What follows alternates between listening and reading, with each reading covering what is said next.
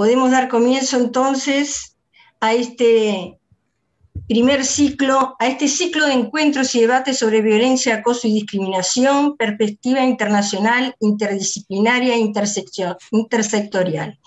Este es un ciclo que comienza en el día de hoy con este primer encuentro.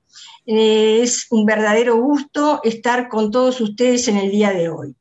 Em, este, este ciclo de encuentros lo organiza el Observatorio de Violencia, Acoso y Discriminación, que es una iniciativa de las facultades de Derecho, Psicología y Medicina de la Universidad de la República. Es un espacio de encuentro e investigación sobre los temas de violencia, acoso y discriminación. Eh, como les dije, es un verdadero gusto de compartir con ustedes este evento en el día de hoy. Tenemos dos grandes expositores destacados a nivel internacional, el profesor Cristóbal Molina Navarrete y el profesor Julio Nefa. Eh, en primer lugar, va a hacer uso de la palabra el profesor Cristóbal Molina Navarrete, luego em, el profesor Nefa tendrá cada uno como máximo 45 minutos y, al final de las dos eh, conferencias tendremos un espacio para preguntas e intercambios que eh, las preguntas se, nos, llegarán a través del chat, o sea, por escrito. Bien, si les parece, damos comienzo entonces, le vamos a dar la palabra al profesor Cristóbal Molina Navarrete, pero antes voy a hacer una breve presentación de este destacado profesor que es conocido por muchos en, en América del Sur por supuesto que es conocido el, profesor en Europa, pero también ha tenido muchas intervenciones de destaque en, América del Sur, en América Latina en general. El profesor Cristóbal Monina Navarrete es doctor por la Universidad de Bolonia, Italia, desde 1992 y es actualmente catedrático de Derecho del Trabajo y de la Seguridad Social de la Universidad de Jaén en España. Eh, participó en la mesa de negociación del Acuerdo Marco Comunitario sobre Violencia y Acoso en el Trabajo, eh, que es de, la fecha 2007 es miembro del Grupo Europeo sobre Violencia y Acoso en el Trabajo, em, constituido en Bruselas de la Unión Europea y también es actualmente director del Laboratorio Observatorio Andaluz de Riesgos Psicosociales en el Trabajo y del Instituto Andaluz de Prevención de Riesgos Laborales. Eh, como saben, además es autor de numerosas publicaciones en muchos temas de derecho del trabajo y de la seguridad social, pero también especialmente algunas vinculadas a los riesgos psicosociales y a la violencia y acoso en el trabajo. Últimamente ha, em, publicado eh, una destacada obra eh, denominada El ciberacoso en el trabajo, cómo identificarlo, prevenirlo y erradicarlo en las empresas, publicado por la ley de Walter Kruger en, Madrid en 2019. Em, como vemos, es un destacado profesor, eh, súper especializado en esta materia y además director de un observatorio em, europeo sobre violencia en el trabajo que esperamos y esperamos que eh, sea el inicio esta conferencia de unas eh, futuras vinculaciones de ese observatorio con nuestro observatorio de violencia, acoso y discriminación. Le damos entonces la palabra al profesor Cristóbal Molina Navarrete con su ponencia El ciberacoso en el trabajo, prevención y reparación a la luz del convenio 190 de la OIT y del derecho de la Unión Europea. Tienes la palabra entonces, Cristóbal. Un gusto de que estés con nosotros hoy.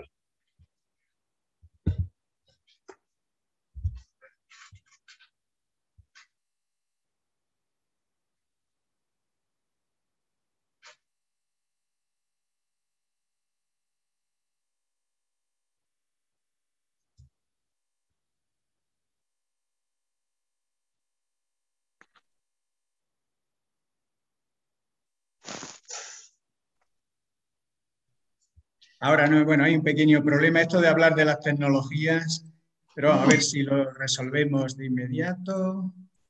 Eh, creo que ya está, ¿no? Eh, bueno, vamos a ver si se... Está, ¿no? Se, está visible y se me oye. Sí, perfecto, Cristóbal, perfecto. Pues muy bien, muchas gracias. Bueno, buenos días en primer lugar para todos ustedes. Eh, bueno, buenas tardes para los que estén a este otro lado, ¿no? Bueno, en España, ¿no? La hora europea es un poquito más avanzada. bueno, para mí es un placer Muchas gracias, Cristina, por, la amable invitación y desde luego también por la presentación. Eh, es verdad, como ya comentaba, que bueno, pues he tenido oportunidad de participar en varias ocasiones en diversos países de América Latina y bueno, pues para mí, aunque bueno, siempre es mejor, ¿no? Ir ¿no? y estar presencialmente. También la profesora Mangarelli pues, ha tenido la oportunidad y algunos otros colegas que también veo en este, en este foro, ¿no? como el profesor Gautier, pues eh, han tenido oportunidad de estar en España. Bueno, como no hay hoy esa posibilidad presencial, pues tratamos de desarrollar este ámbito, que además, bueno, nos permite, ¿no? Nos permite estudiar más de cerca ¿no? es la materia que yo voy a desarrollar, que es el ciberacoso.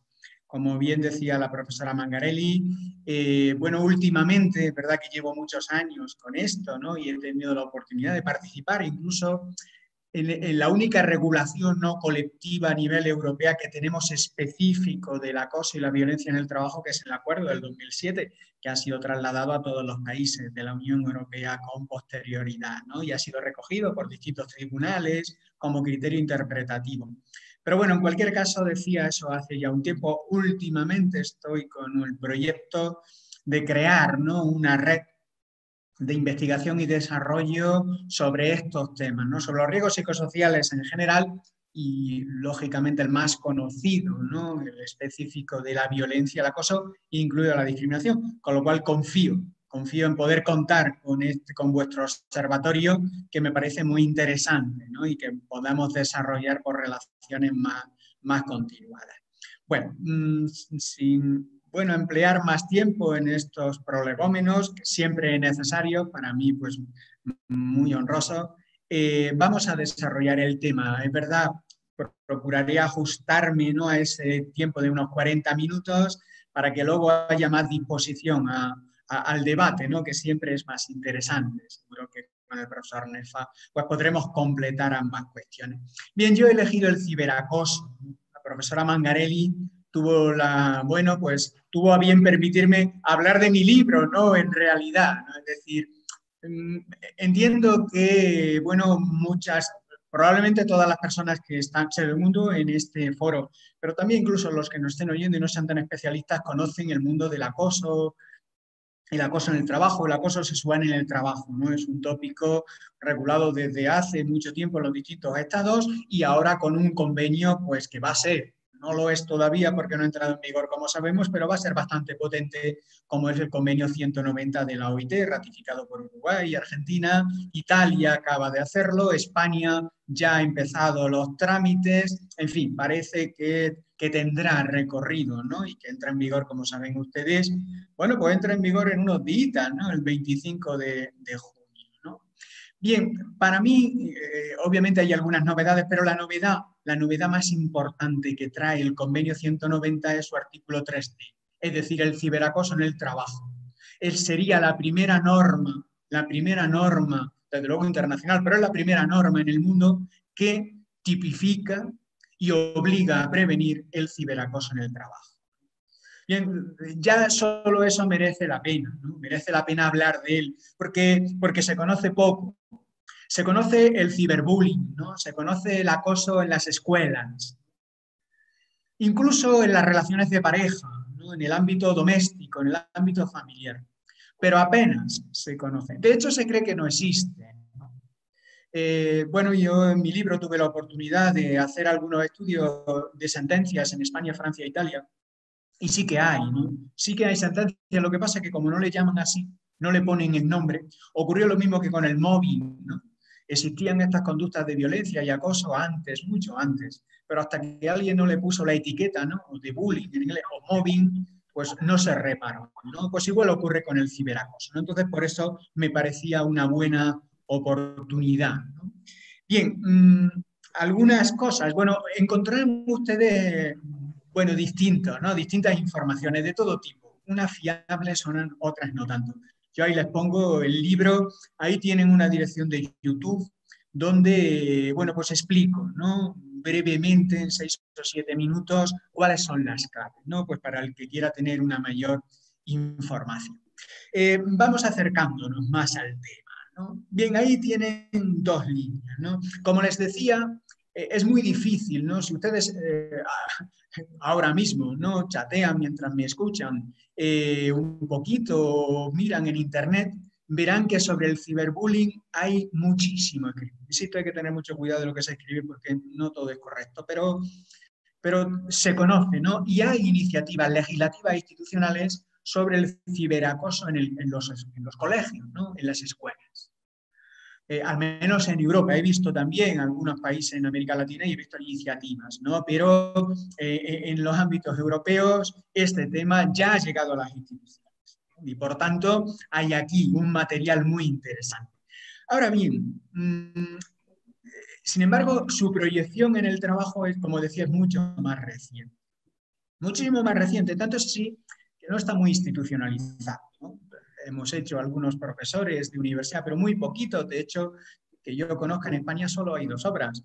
En Francia ahora mismo no hay ninguna monográfica. En Italia tampoco. Es decir, es un tema que, bueno, que está ¿no? a la espera ¿no? de un mayor desarrollo, que tiene que tener necesariamente porque va a ser una norma, una referencia internacional.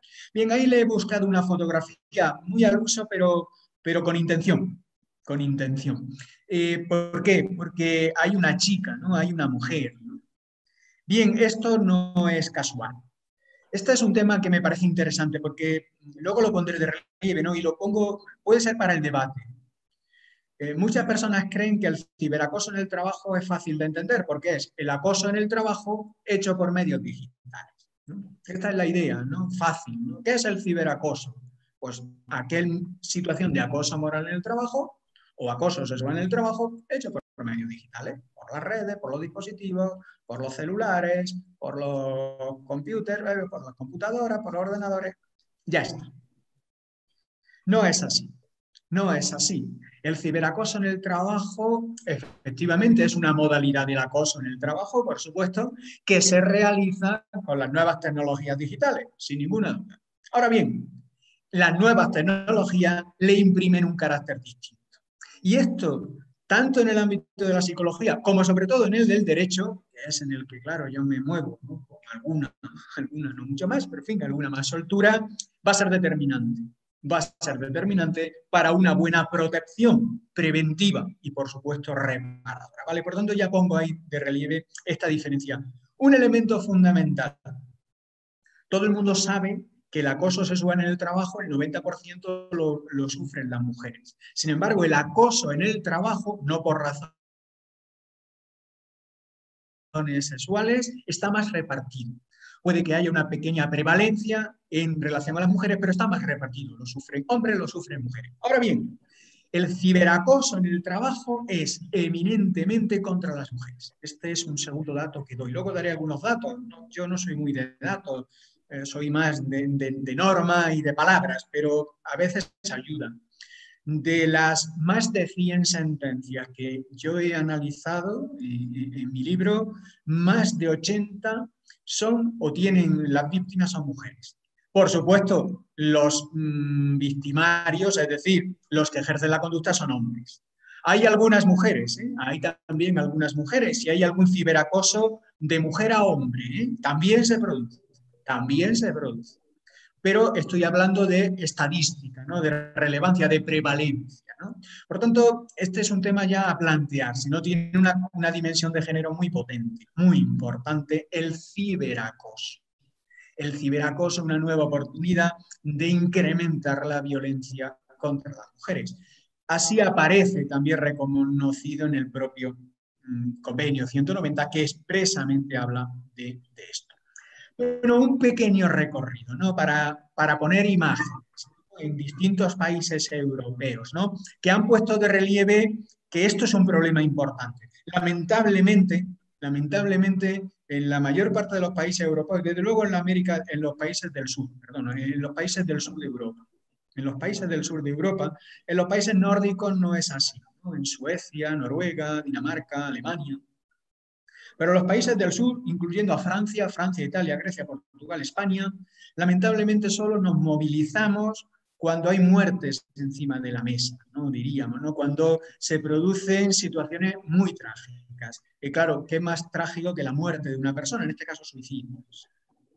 También ha ocurrido en Estados Unidos, ¿eh? ¿no? En fin, pero bueno, yo como hablo de este ámbito, no más europeo, pero, pero no estamos, ¿no? Es decir, ¿por qué ha salido a la luz el ciberacoso en el trabajo? Por suicidios, por suicidios, porque las víctimas no lo soportan más. Claro, es la situación más dramática, por supuesto. Hay muchas otras que no tienen ese efecto tan trágico pero es importante, ¿no? De hecho, recientemente, no en relación a un ciberacoso, pero sí en acoso en el trabajo, una sentencia de hace tres o cuatro días del Tribunal Supremo Español, eh, en el que el, acoso en el trabajo termina en un suicidio, ¿no? Y se reconoce como tal.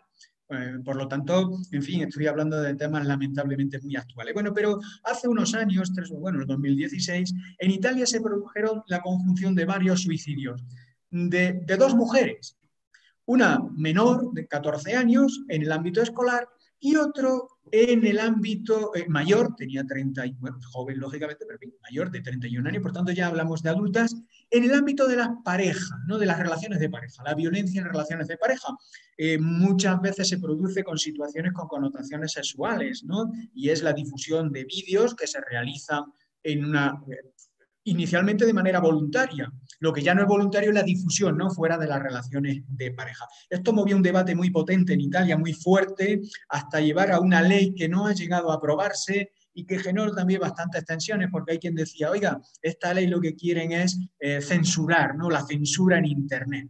Bueno, eh, en el Reino Unido, Nueva, Nueva, Zelanda, ya sé que no es Europa, pero bueno, es el mundo anglosajón, ¿no? Por eso he puesto Reino Unido, que tampoco es de la Unión Europea, como ustedes ya saben, pero es Europa por mucho Brexit o por mucho que se haya ido de las instituciones, ¿no? Bueno, el trolling, ¿no? Es decir, fue un comportamiento cada vez lamentablemente más extendido, ¿no? De personas que se dedican a agredir a otras en la red como ven, ahora mismo no estoy hablando del trabajo propiamente, estoy hablando de, la colonización digital de nuestro mundo de vida. Es decir, nuestra vida está presidida por las tecnologías ya. Eh, allá donde vayamos, en el cole, en el colegio, en la pareja, en la sociedad y ahora vamos a ver que en el trabajo.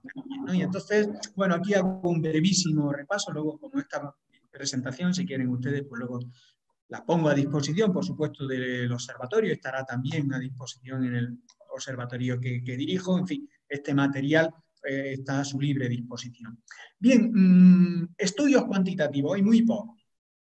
No obstante, contamos con algunos. ¿no? En la Unión Europea, ahí les pongo también las referencias, y de hecho lo que pasó en Italia, porque hay alguna referencia específica a Italia, es decir, lo que pasó en Italia mm, ya se sabía, es decir, ya se tenía estudiado, y de hecho eh, hay más de 2.000 más de 2.000 denuncias de este es similar en otros países europeos. ¿eh? Eh, el informe sobre el ciberbullying de la Comisión Europea, que se centra de nuevo en el escolar y también relaciones familiares, pero también hacen algunas incursiones en el ámbito laboral. Menos, menos, pero ya la hacen. Y por tanto, bueno, ahí ya eh, empiezan a contar estudios. Más rastreo, ¿no? rápidamente para que vean ustedes que no, que no es una especulación del profesor. No, no es una materia que pueda encandilar ahora pues, a los científicos, las científicas de nuestro ámbito. No, no, es un problema real, real y global, real y global. Por eso esta conferencia ¿no? internacional es un problema difundido, ¿no? Y va a tener una solución global también a través del convenio OIT, pero todavía el convenio OIT no entra en vigor y los casos ya, ya están. Bien, aquí les pongo, por ejemplo, ahora Francia, ¿no? Como ven, trato de viajar, lo bueno de la tecnología, en los distintos lugares. Ahora Francia, y en un sector periodístico. Ya me acerco más al trabajo. Aquí es una situación que eh, bueno, generó un escándalo enorme en los años 2016, 2017, 2018 en Francia. Y es que determinados periodistas, periodistas se dedicaron a hacer campañas de acoso y derribo contra compañeras Es decir, otras periodistas, no solo mujeres periodistas, pero sí la mayoría mujeres periodistas, ¿no? Lanzaron varias campañas. Inicialmente aparece como algo de broma, ¿no? Era una manera, ¿no? De aprovechar las tecnologías, de reírse, ¿no? Claro, hasta que se dan cuenta de que muchas de esas periodistas tuvieron que darse de baja, generaron importantes daños psicosociales. Luego, si quieren, en el debate entramos. Son muchas cosas, no querría perderme en todos los datos, pero bueno, creo que puede ser útil, ¿no? Recorrer qué tipo de problemas ¿no? se están planteando y como ven, ya no son personales, no son particulares, no son episódicos. Hay aquí campañas de grupos, claro, grupos reducidos, pero organizados, que se dirigen en contra ¿no? de otras profesionales, otras compañeras, por distintas razones. ¿no? Miren que aquí ya aparece otro dato. ¿no? Son compañeros, no, son las jefaturas, no son las direcciones. Este es un tema que también pondría encima de la mesa como debate. Eh, nosotros hemos analizado normalmente el acoso en el trabajo y el acoso sexual en el trabajo con una relación vertical y asimétrica, ¿no?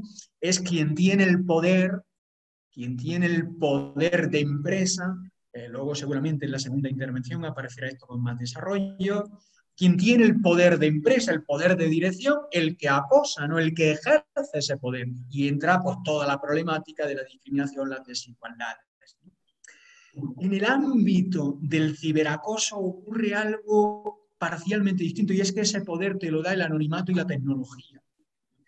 E, eres un compañero y una compañera, es decir, no tienes poder jerárquico.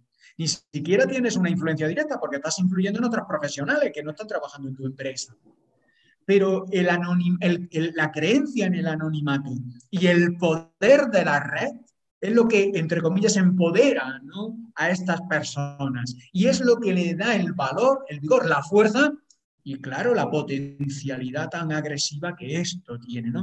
Pero jurídicamente son relaciones entre compañeros, son lo que llamaríamos acosos horizontales, ¿no? es decir, entre personas que ocupan una misma posición en la organización.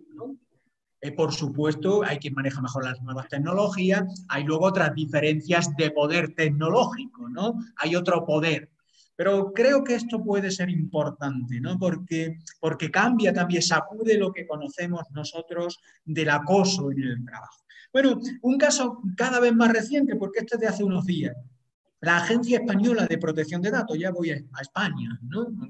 Trataré de moverme en los distintos ámbitos europeos, puesto que ese es el espacio que hemos seleccionado y creo que puede ser más interesante.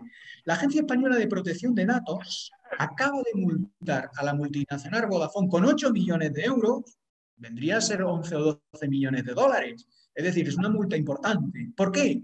Pues porque está acosando telefónicamente a muchos clientes. Es decir, por un uso reiterado del teléfono, los mensajes, las llamadas, seguro que le ha pasado a ustedes, a mí me ha pasado y de hecho ya lo he denunciado en alguna ocasión. Te bombardean. Claro, la razón en principio es comercial. Oiga, yo lo que quiero es venderle. O sea, la, razón es legítima. ¿no? no hay ningún interés de fastidiarle a usted la vida, entre otras cosas porque es el cliente. Sin embargo, lo hace usted de tal modo que termina provocándome daño. Es muy molesto, muy molesto. Bueno, eh, ¿Qué ocurre? Pues que la Agencia de Protección de Datos ya ha dicho, oiga, no solo es molesto, sino que es antijurídico. Esto contraría todas las normas de protección de datos, ¿no? Porque el cliente ya había dicho que no quería recibirlo. Eh, esto me sirve, y voy avanzando ya en, soluciones, me sirve pues, para poner de relieve la Agencia Española de Protección de Datos, tiene una guía muy interesante, acaba de presentar acaba de presentar, lo hizo el año pasado, en fin, ha vuelto a reiterarlo en, otra, en una guía sobre protección de datos en el trabajo, tiene una guía muy, muy sugerente, ¿no? Donde ya incorpora, incorpora las políticas de prevención del acoso digital en el trabajo. Es una normativa específica, una normativa no, perdón, un instrumento, no es vinculante. ¿no? La, Agencia Española de Protección de Datos es una autoridad de control.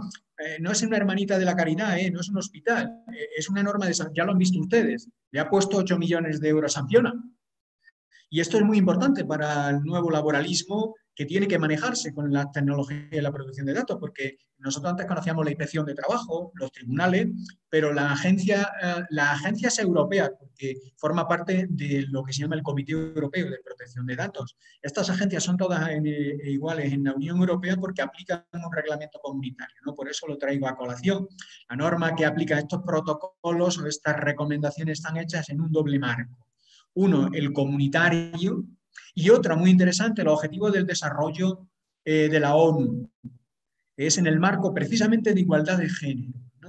Bien, en ese marco se han elaborado una serie de propuestas, insisto, está disponible en la red, que son bastante, desde mi punto de vista, son bastante útiles. Como ven, esto ya va cambiando.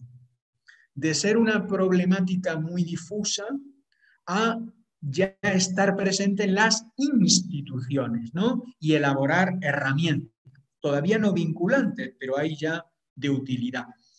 Y esto también es interesante porque va en la línea de lo que le estoy comentando. Ah, tenemos mm, protagonistas nuevos, nuevas instituciones. Nosotros, sobre todo los laboralistas, hablamos de prevención de riesgos laborables, de derecho antidiscriminatorio. De hecho, pues en el marco de la Facultad de Psicología, la Facultad de Derecho, se habla del acoso y la discriminación. Bien, pero el marco de instituciones que están tomando cartas en el asunto, antes incluso que las laborales, son las, de la, ah, las que tienen que ver con la protección de datos o el mundo digital, por ejemplo, la ciberseguridad. Antes le he dicho la Agencia de Protección de Datos, ahora les pongo el Instituto Nacional de Ciberseguridad, que tiene un decálogo también de ciberseguridad, porque aquí estamos hablando de salud, pero también de seguridad de las personas. Por tanto, esta es una nueva dimensión que tenemos los juristas del trabajo que todavía no hemos afrontado y que tenemos que afrontar. No nos va a quedar otra. Y es eh, cómo combinamos todos estos elementos, ¿no? Porque el marco más referencial es la protección de datos es todo lo que tiene que ver con el uso de la información personal, porque muchos de estos acosos se provocan a través del uso de datos personales, de la suplantación, de la manipulación, de la difusión de informaciones inadecuadas, es decir, de la protección de datos. Bueno, hay muchas otras, ya les digo, para no cansarles mucho. ¿no? Bien, hago por tanto, de nuevo, aunque ya lo he hecho antes, una, una breve síntesis, ¿no? para que queden algunas ideas claras para el debate, o por lo menos mensajes de mi proyección. Primera cuestión que ya le anticipé. Ciberacoso en el trabajo es solo aquel acoso de trabajo que se realiza por la comunicación digital, como en principio pareciera que dice el artículo 3 del convenio 190, primera idea. Segunda idea muy importante. ¿Quién, quién garantiza la prevención y la erradicación del ciberacoso? ¿Por qué hago esta pregunta que puede parecer un poco tonta? ¿no? decir, bueno, pues si hablamos del acoso en el trabajo, las empresas. Bueno, no está tan claro. No está tan claro por una sencilla razón que ahora vamos a ver. La mayor parte de estos ataques se hacen fuera del trabajo, con dispositivos propios de los trabajadores. Claro, mm, ¿puede el empresario entrar a controlar mi celular, mi ordenador, mi red privada? No las de la empresa, las de tal, eso ya lo sabemos, sí, por supuesto. Lo que estoy diciendo es, oiga, si yo a las 3 de la mañana, fuera de mi trabajo, con mi ordenador, mi celular o mi red, hago este ataque a una compañera de trabajo, claro, alguien que tenga que ver con el trabajo, claro, porque si no, obviamente estaría fuera, sería una cuestión de orden público, ¿no? Y por tanto de orden y seguridad ciudadana. Lo que quiero decir es, oiga, aunque sea para personas que yo conozco por el trabajo, si lo hago en entornos y con instrumentos radicalmente ajenos al trabajo, ¿qué pasa? ¿Qué capacidad tiene el empresario? No lo digo yo solo, el artículo 9 del convenio eh, de la OIT ya lo pone de relieve. La obligación del empresario está allí donde esté bajo su control. Y siempre que sea factible, no es todo, ¿no? Por tanto, estas trampas están en el artículo 9 del convenio. Está lo positivo, artículo 3, pero el propio convenio 190 de la OIT, lógicamente, porque está muy bien elaborado, ha costado mucho tiempo, es decir, no es ajeno a esta problemática. Otra cosa es que hay que abordarla, ¿no? Y que las empresas no se van a ir versitas, Pero este es un tema que hay que tener en cuenta, ¿no? Que la digitalización significa que el ataque se puede producir en cualquier lugar y en cualquier momento. Y el empresario tiene prohibido controlarnos todo lugar y todo tiempo. Es que lo tiene prohibido por los derechos fundamentales. Oiga, que no lo puede controlar porque es la, mi reserva personal. Aquí encontraremos, por tanto, un obstáculo importante. Bueno, Segunda parte de mi intervención. La tercera será conceptual y terminaré. La segunda parte, esta primera parte es presentar la problemática, hacer una revisión de problemas. Eh, el contraste. Ya en mi última intervención ya he apuntado algo. Bien, eh, la norma ya la he repetido, es decir, ¿Va a ser obligatorio prevenir este tema? Sí, sin ninguna duda, porque lo dice el convenio. Ahí tienen, les recuerdo, ¿no? para los no juristas, lo que dice. Bien, por tanto, el ciberacoso en el trabajo, en general y por razón de sexo en particular, es un concepto ya jurídico con una norma social internacional que va a tener una obligatoria, porque el convenio dice que quien lo ratifique deberá desarrollar este. Ahora bien, ahora bien, el baño de realidad. ¿no? Bien, aquí le pongo algunos casos muy recientes en España, eh, que no se han resuelto bien. Claro, primer caso, un caso que, que fue muy llamativo. Miren ustedes, una, una trabajadora de una empresa bastante importante eh, se suicida. Se suicida porque eh, se produce dentro de la empresa y a través de WhatsApp y de grupos de digital, se produce la difusión de vídeos sexuales que ella grabó para su pareja de entonces y que luego se distribuye ya fuera de ese ámbito. Ella ya está casada y, tiene dos niños pequeños. Si ustedes ahora recuerdan, verán que el mismo caso en Italia y era una cuestión que no era en el trabajo o la chica, como ven ustedes, son problemas muy, muy conocidos, difusión de imágenes, difusión de rumores, ataques, que termina con suicidios de mujeres en la escuela, en la pareja y en la empresa. ¿no? Por tanto, son problemas sociales de primer orden. Bueno, ¿qué pasó? Pues brevísimamente, hay, hay muchísima información. Bueno, esto es muy interesante para un jurista porque el convenio colectivo de esta empresa preveía el ciberacoso. De los poquitos, de los poquitos convenios colectivos que preveía el ciberacoso en el trabajo. Es decir, que según el convenio colectivo esto nunca debió darse, pero se dio. Y lo peor, tanto los tribunales como la inspección de trabajo han archivado el caso. ¿Y por qué lo han archivado? Pues porque no se conoce al autor, se conoce el hecho, claro, el hecho es evidente, está objetivado, hay prueba súper de sobra porque son más de 200 compañeros los que recibieron ese mensaje, ese vídeo. El problema es quién, quién lo difundió. Hubo unos acusados, pero no se pudo probar. ¿Y, quién es el culpable? ¿El que primero que lo difunde o el que lo retuitea? Porque claro, hay gente muy inocente que dice, oye, mira qué, interesante, o qué cosa, no, e inocentemente, entre comillas, ¿eh? entre comillas, lo difundes. Eran más de 200 personas, ¿eh? es una empresa de miles de trabajadores, una empresa importante. Bueno, si les parece que este, bueno, pues es un caso, mala suerte. No, un año antes hubo un caso parecido de una policía, una mujer policía, que sufrió algo parecido, ¿no? Que con su pareja anterior, pues le hace una felación y bueno, pues esa felación, claro, luego terminada esa relación, esa, se hacen fotografías y se distribuye a compañeras del trabajo, con mensajes provocativos, no entro más en estos ¿Qué pasó? Bueno, pues se denunció, bueno, llegó al tribunal y el tribunal dijo, oiga, de nuevo, el, problema está claro, en la conducta mm, está claro, pero ¿quién es el autor? De nuevo, ¿no? De nuevo, no tenemos el autor.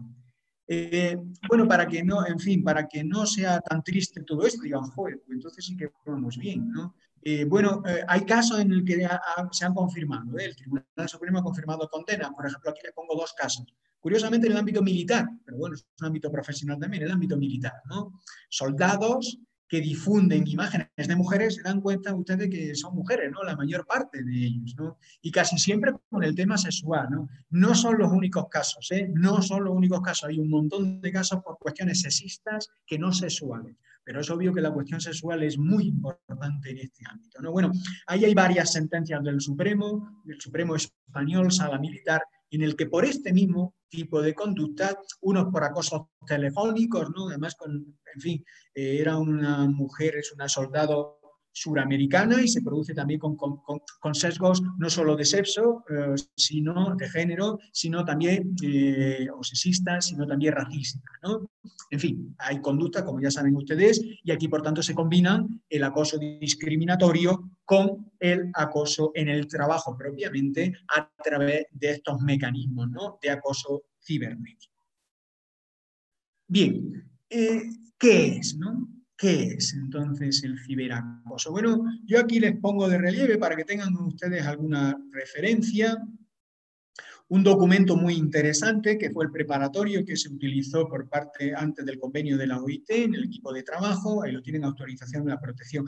Muy interesante algunas cosas, ¿no? Primero, mm, le he reseñado tres ideas, el documento es más amplio, lo tienen ahí ustedes, tres ideas. Conducta, resultado y contexto. Conducta. Bien, mm, en el marco de la OIT se entiende que es un todo comportamiento agresivo contra una o varias personas utilizando la tecnología. Pero miren lo que yo le he reseñado. El grupo de trabajo de la OIT dice que debe ser de forma regular, de forma regular, es decir, reincidente, pero atención, no, porque él es consciente de que esto como antes les decía, esto, esto con el ciberacoso no sirve. Lo que nos sirve para distinguir la violencia del acoso moral, que es la sistematicidad, recurrencia, recurrencia y frecuencia, no sirve para el ciberacoso. ¿Por qué? Porque una sola conducta, una sola conducta, un tweet, un, me gusta o un envío, puedes fastidiarle la vida a una persona de por vida, de por vida. Y tú solo, solo has hecho solo le has dado un botoncito, solo eso. Oiga, que eso, bueno, pues eso, ¿por qué? Pues porque ese acto puede repetirse por otro, porque tiene una enorme difusión, con lo cual un solo acto y leve, y leve en la concepción tradicional, se convierte en el final o en una situación muy gravosa para las personas. Segunda idea, resultado previsible, ¿no? Es decir, oiga, Claro, esto produce daño a la salud, por eso lo, metemos lo, incardinamos no solo en los comportamientos discriminatorios, sino en el ámbito de la salud. ¿Por qué? Pues porque hace mucho daño. O puede hacer mucho daño, ¿no? Esto es una cuestión fundamental. De ahí también el marco de la OIT, y es que es un tema de salud laboral, ¿no? Atención, porque este es otro dato importante también. Eh, eh, ¿Cuál es el ámbito subjetivo? Nosotros sabemos que normalmente el acoso en el trabajo se produce pues, a trabajadores, trabajadoras, bien por los jefes, bien entre compañeros, incluso de compañeros a los jefes. Bien, bueno, más, más o menos lo que hasta ahora en estos 20 años de estudio de la cosa moral, más o menos 25, hemos aprendido. Bueno, pues aquí tenemos que revisar lo que hemos aprendido. ¿Por qué? Porque el ámbito subjetivo se, se desborda se desbordan. Primero, no solo son las personas trabajadoras, también los cuadros intermedios. Como ya le he dicho, con enorme frecuencia. ¿eh? Con enorme frecuencia, el poder o el anonimato que te da, el poder hacerlo a través del WhatsApp, a través de Twitter, a través de vídeos, parece que eso te hace más fuerte, incluso frente a tu jefe. Luego, lógicamente, eso tiene sus consecuencias. ¿no? También la dirección. También la dirección. ¿Por qué? Porque si yo hago mi campaña en mis redes y creo que no sale de mi red privada, si no sale de mi Facebook, si no sale de mi Instagram, si no sale de mi eh, Twitter, si no sale de mi red, pues ¿quién lo va a ver? Claro, está la ingenuidad, sí que se puede ver, sí que se puede ver. Y el empresario entonces, la empresa, una vez que lo ve, pues está caído con todo el equipo. De hecho, pues acaba de una sentencia muy reciente de un despido procedente a un trabajador en este caso no hay situación de acoso, ¿no? pero para que vean la potencia de las redes, un trabajador que es conductor y no tiene otra cosa que hacerse una foto, eh, hacerse una foto conduciendo. Claro, la pone en la red a manera de broma y gracia, se lo ve el empresario y lo despide. Y lo más curioso de todo es que es despido procedente, ¿no? porque claro, un conductor que, va conduciendo no se puede dedicar a hacerse fotos a sí mismo, ¿no? porque eso quiere decir que está siendo negligente en su conducta. Bueno, mm, claro, pero es que además hay otros terceros, los clientes. Hay un caso muy interesante en una sentencia española en la que un trabajador acosa a una cliente, mujer, mandándole, aprovecha el envío de pedidos, mandándole algunas fotos en posiciones, en fin, sugerentes o provocadoras. Es decir, la clientela se ve también perfectamente a través justamente de esta vía a través de la tecnología y por supuesto contratistas, subcontratistas, es decir, por la conexión digital, mucho más insisto, tras la COVID y el teletrabajo. Bueno, algunos datos ahí en España, ¿no? Voy cerrando. De los más de 100 casos que yo he podido identificar en la doctrina judicial española y francesa, con alguna italiana también, el 70%, como les decía, del acoso es horizontal, es decir, entre compañeros, como antes les comenté. El 20% es vertical, pero atención, ascendente, no descendente, es decir, de uno o dos trabajadores o un grupo contra sus jefes. Y apenas el 10% es lo que se llama el acoso o ciberacoso institucional. Lo hace la propia dirección de la empresa contra trabajadores. Hay una sentencia muy interesante española del año 2019 del Tribunal Supremo donde condena a una cooperativa por acosar a un grupo sindicalizado eh, a través de los medios, campañas digitales y tal, poniendo los verdes, de, bueno, pues desautorizando el trabajo sindical, en fin, todo este tipo cosas. Bueno, no les voy a cansar mucho en esto. Tienen ustedes en la red todo lo que quieran, los comportamientos, claro. Es decir, ¿cuáles son las conductas? Infinitas. Infinitas, es decir, hay una enorme cantidad de conductas vinculadas, ¿no? Desde el dosing, que es, bueno, es todo lo que tiene que ver con las estafas, eh, hay muchas, el grooming, como ustedes saben, es más en el ámbito escolar, pero del trolling hasta la exclusión de grupos de WhatsApp, ¿no? el ciberstalking, que es la persecución o el acecho continuado a través de las tecnologías. ¿no? Eh, yo le he hecho esta síntesis ¿no? para, para intentar ser claro. Eh, relevante en el trabajo, ¿no? que yo tengo ya identificada en sentencias judiciales. ¿no? Por tanto, para mí es objetivado porque esto ya, ya ha pasado en el trabajo. ¿no? La, la sextorsión, ¿no? antes lo hemos visto, llamado también por no venganza, ¿no? antes comentábamos, el hostigamiento ciberstalking, que es la persecución digital, es una nueva forma de violencia, la exclusión, el hecho, eh, esto hubo un caso en el año 2018 en Australia, ¿no? muy interesante, me llevó al tribunal y efectivamente consideró que era, había otras causas. ¿no? Por ejemplo, uno va formando un grupo de WhatsApp, incluso en las empresas, y de la noche a la mañana te expulsan, expulsan, ¿no? fuera. Por tanto, esto ya genera un cierto aislamiento, ¿no? un aislamiento importante. En fin, hay una nueva situación, o ahora con el teletrabajo, imaginen que no te notifican o no te dan el enlace, ¿no? Para que puedas entrar a una videollamada y luego te dicen, oiga, no ha asistido, ¿no? Es decir, aparecen nuevos comportamientos, o el dosis, ¿no? Como antes decían, que es el tema más tratado por la Agencia Española de Protección de Datos y por otras europeas, que es el uso eh, acosador del tratamiento de datos entran en tu número de usuario, hacen uso indebido de tus datos, en fin. Mm, claro, y las consecuencias, esto sí que es más parecido ¿no? al acoso. Claro, se generan problemas de ansiedad, aislamiento, soledad, miedo, baja autoestima, bajas laborales y, como le he dicho, suicidio. Bien, ¿qué es para mí el ciberacoso? ¿No? Esto ya es una definición normativa extraída de la OIT.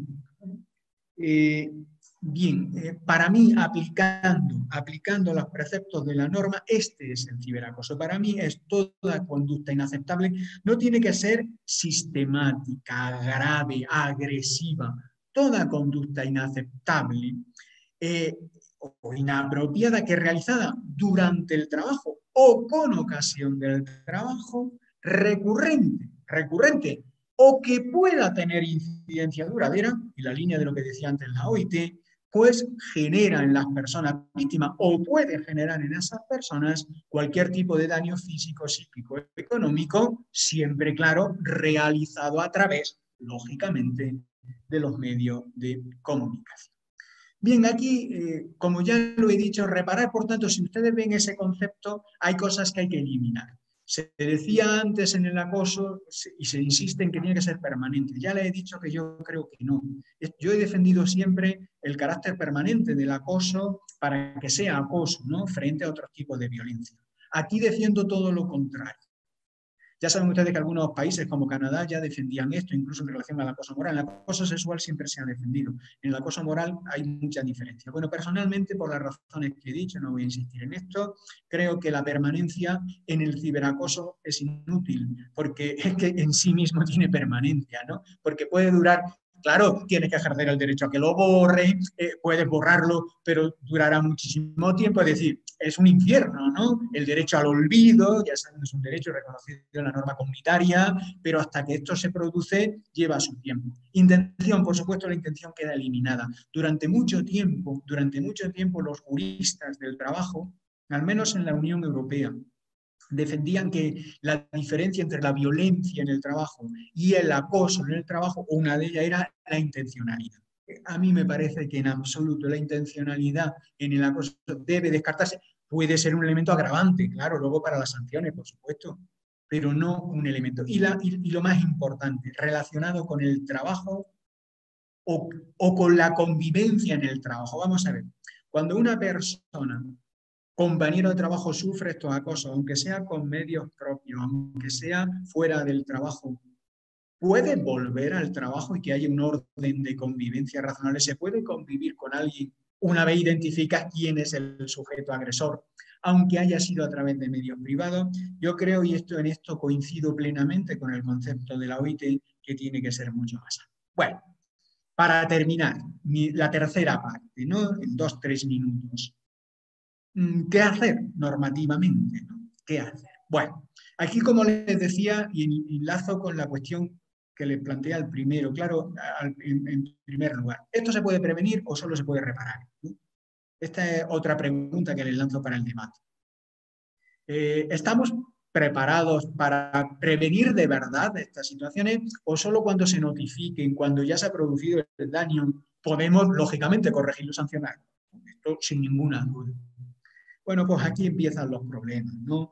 Eh, por supuesto, para la reparación-punición, pues existe un marco suficiente. En España, el 80% de las decisiones fueron disciplinarias, es decir, ya hay, nadie intervino preventivamente.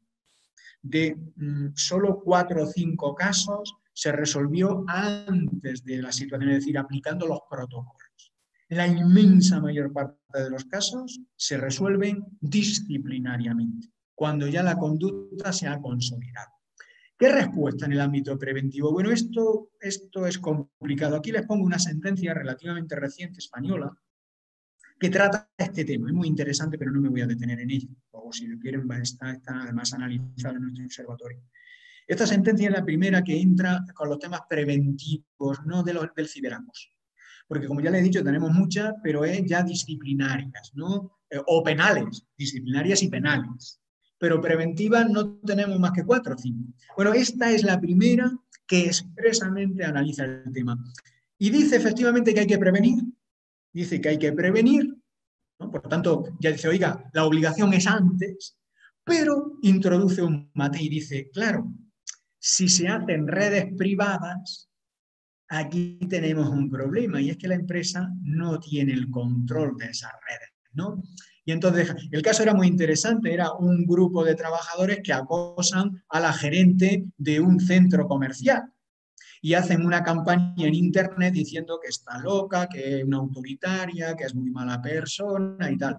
Claro, la trabajadora, la, gerente, por tanto, jefa, se dirige a la dirección de la empresa y dice, oiga, a mí este grupo de trabajadores me está machacando en internet, haga usted algo. Y la dirección de la empresa dice, hombre, pero, pero si lo hacen fuera del trabajo, si lo hacen en redes privadas, esto es una crítica a su trabajo, es decir, no, no interviene. Entonces, y la empresa dice, o sea, la sentencia dice, bueno, la empresa, sí que la empresa dijo, bueno, voy a intentar que haya un entendimiento, vamos a ver si podemos llegar a un acuerdo, ¿no? Es decir, medidas de mediación, es decir, algo intentó, pero no pudo entrar a corregir porque no se hacía a través del dispositivo que controlar. Bien, y aquí les dejo una pregunta ¿no? con la que termino.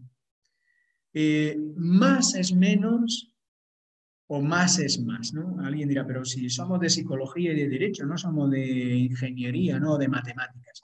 Bueno, aquí quiero ponerles de relieve un problema que tenemos en Europa.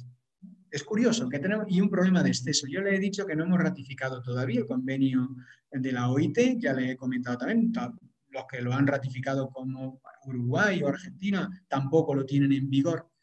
Pero es que en Europa, en la Unión Europea, no necesitaríamos ratificar el convenio 190 de la OIT. No necesitaríamos ratificarlo para tener una potente política de prevención, no solo de reparación. ¿Y por qué no la tenemos? Porque no la tenemos en la Unión Europea ni en ningún país concreto de la Unión Europea, unos mejores que otros, ¿no? pero no la tenemos.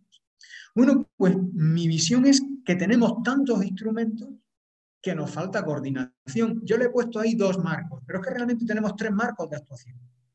La ley de prevención de riesgos laborales, que es una directiva comunitaria. El derecho antidiscriminatorio, que son varias directivas comunitarias. Y atención, la materia de protección de datos, que, son que es un reglamento comunitario.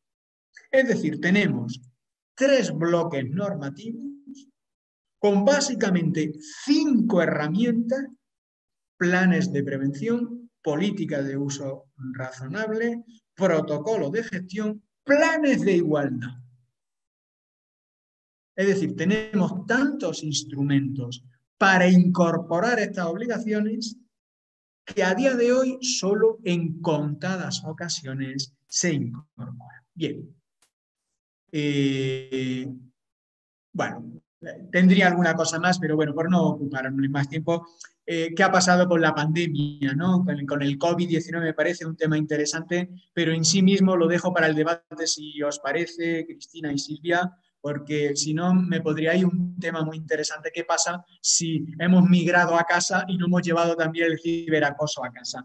Pero por no consumir más tiempo, lo dejo para el debate si interesan, porque me parece que es un tópico que convendría desarrollar. Bueno, esto al final, bueno, como les digo, creo que es un tema muy importante, que es un desafío que tenemos todos los países de todo el mundo, lógicamente, a más desarrollo, que ahora mismo los países emergentes en América Latina y en la Unión Europea, obviamente en el ámbito en África, en Asia se produce otra problemática, en Asia se merecería la pena estudiarlo, pero bueno, nosotros ya bastante tenemos con nuestro espacio, ¿no? que es América Latina y, Europa. En cualquier caso, si tienen interés, espero que en el marco de vuestro observatorio y en el, bueno, pues el que estamos poniendo de relieve en el ámbito español y con la red que queremos crear, pues tengamos nuevos encuentros y nuevas posibilidades para no solo identificar los problemas, sino las soluciones reales, no formales, porque hay muchas soluciones formales, como hemos visto, pero como antes les dije, el problema se produce y en la mayor parte de los casos, no en todos, no en todos, pero la mayor parte de los casos quedan impunes. Bueno, pues muchas gracias y quedo a vuestra disposición, claro. Muchísimas gracias, eh, Cristóbal.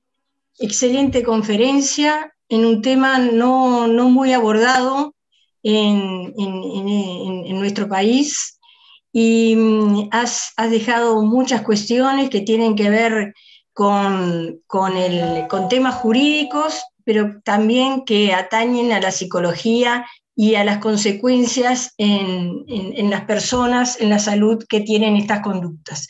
Muy, muy interesante y muy novedosa tu, planteo.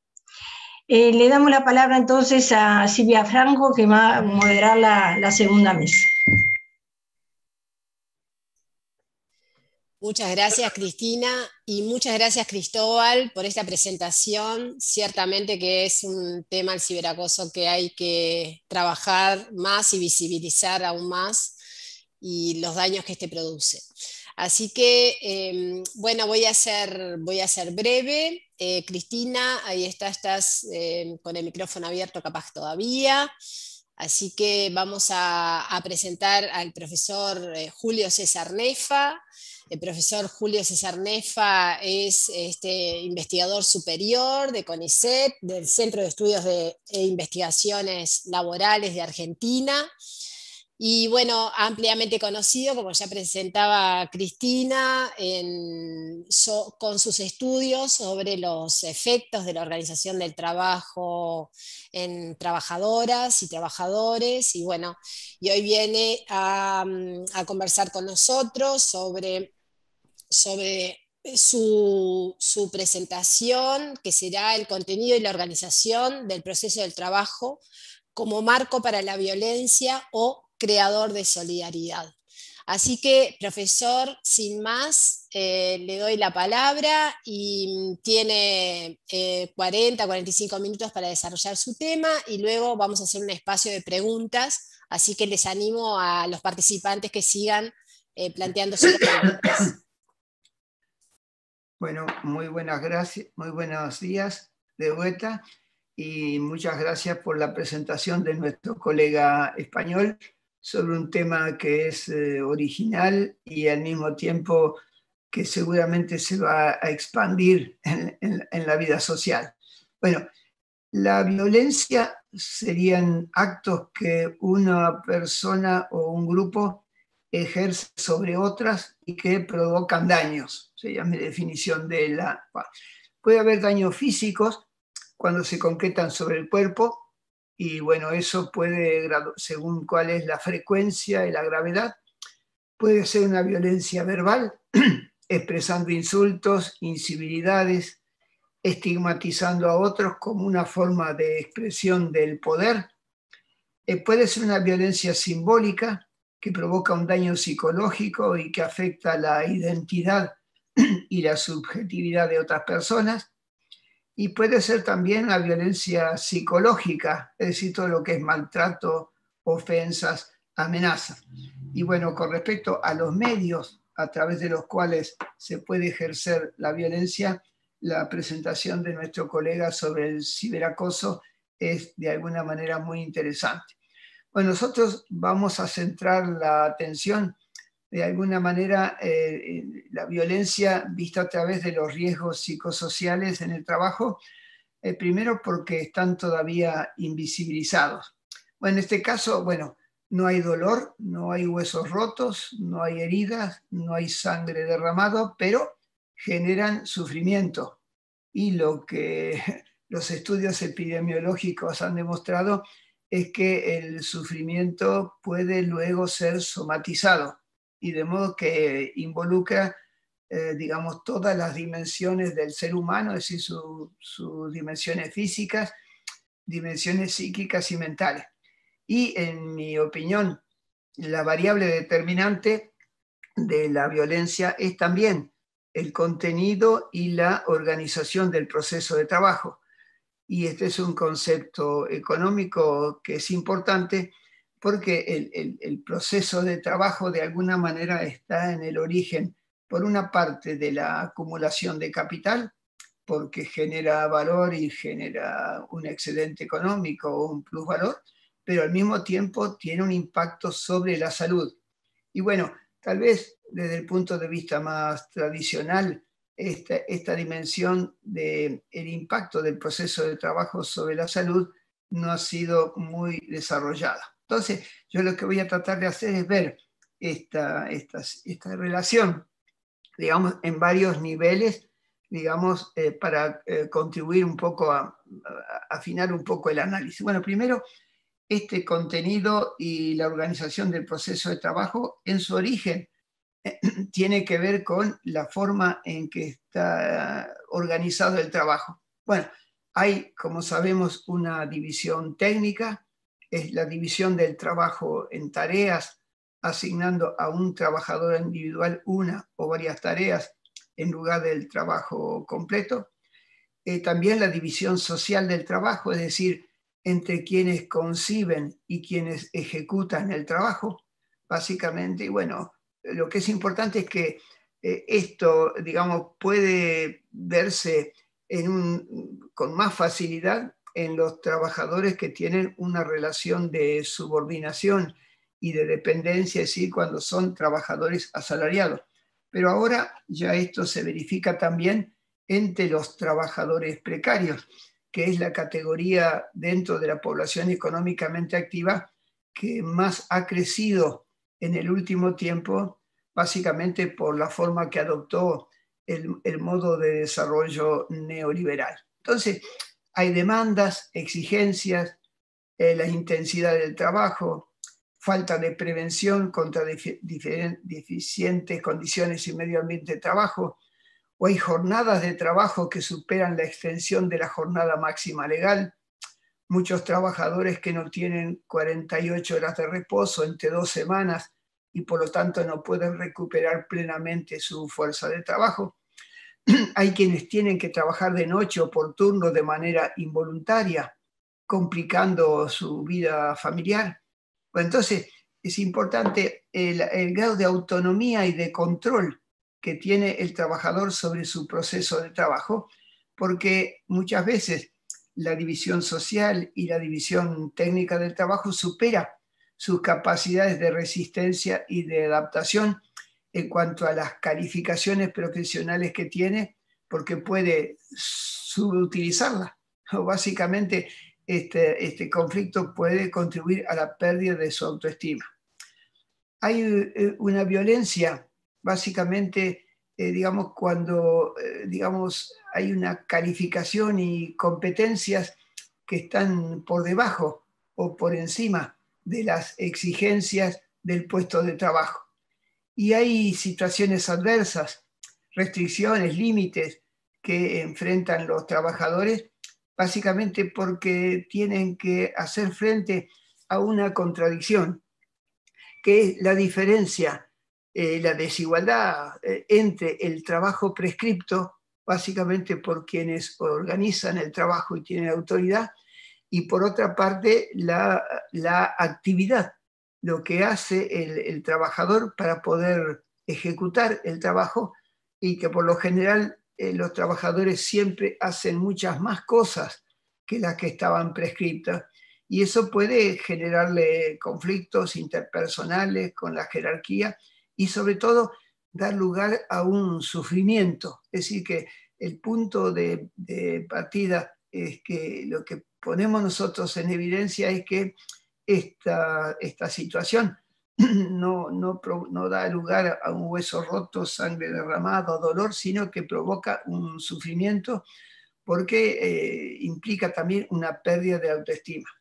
Y en el nuevo paradigma productivo, los trabajadores son cada vez más estimulados por las empresas y por la organización para dar lo más que pueden decir, poner en acto todas sus competencias, y que vivan el trabajo como un desafío que implica necesariamente su intensificación, pero no solo en, sus dimensiones físicas, sino también en sus dimensiones psíquicas y mentales.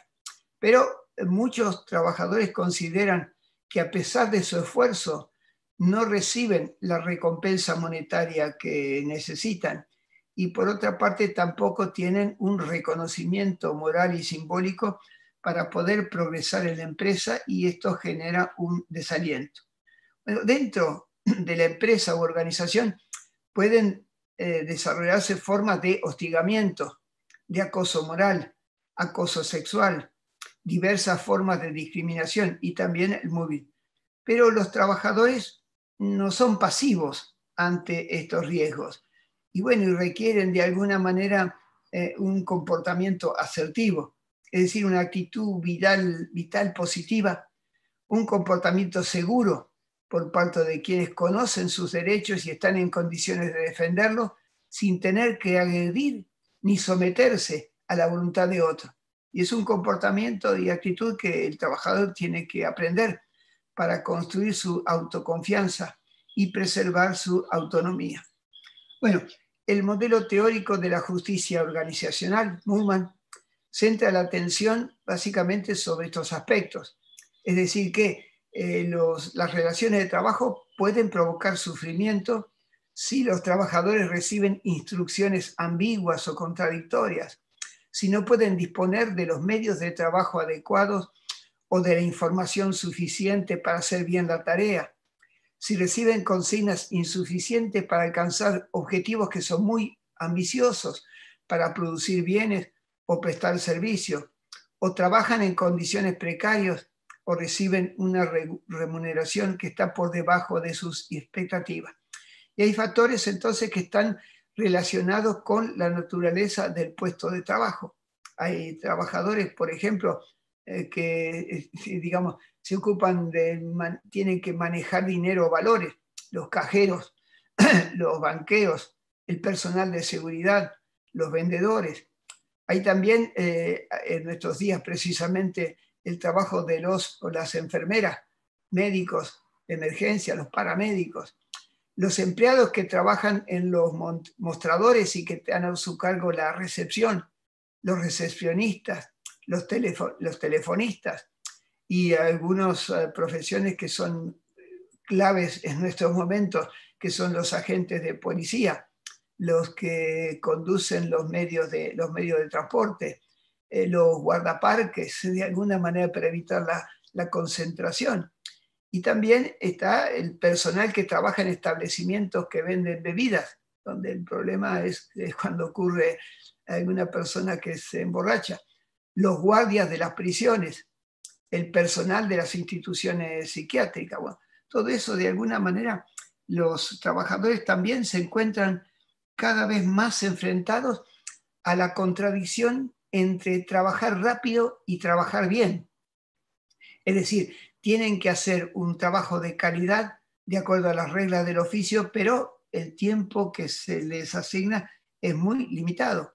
Y entonces esto da lugar a lo que llamamos una calidad impedida, porque hay que trabajar apurado, como relevamos en muchas de nuestras encuestas. En muchos trabajadores tienen que trabajar, trabajar apurado y por lo tanto difícilmente pueden hacer un trabajo de, un trabajo de calidad. Entonces, en estas condiciones los trabajadores no quedan pasivos, no pueden quedar pasivos, y adoptan estrategias defensivas, básicamente, y esa estrategia defensiva da lugar a una ideología defensiva del oficio.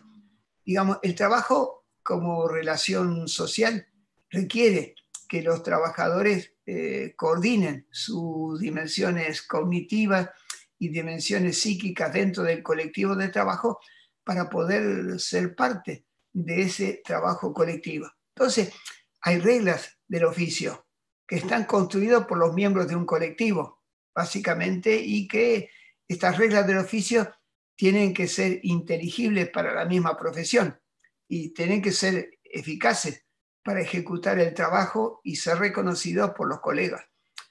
Hay mecanismos de defensa individual eh, cuando no se pueden eliminar los riesgos, los trabajadores reprimen sus emociones o descargan el conflicto sobre los familiares o colegas, o como otro mecanismo de defensa se autoadministran medicamentos, consumen vitaminas, sedantes, calmantes, consultan individualmente a psicólogos o psiquiátricos o psiquiatras en búsqueda de contención, o a veces recurren a la sobreinversión o a la sobrecarga de trabajo, es decir, autoacelerar el trabajo, la hiperactividad para no tener el tiempo para pensar o ignorar ese riesgo. Entonces, hay estos mecanismos de defensa individual, pero también mecanismos de defensa colectiva.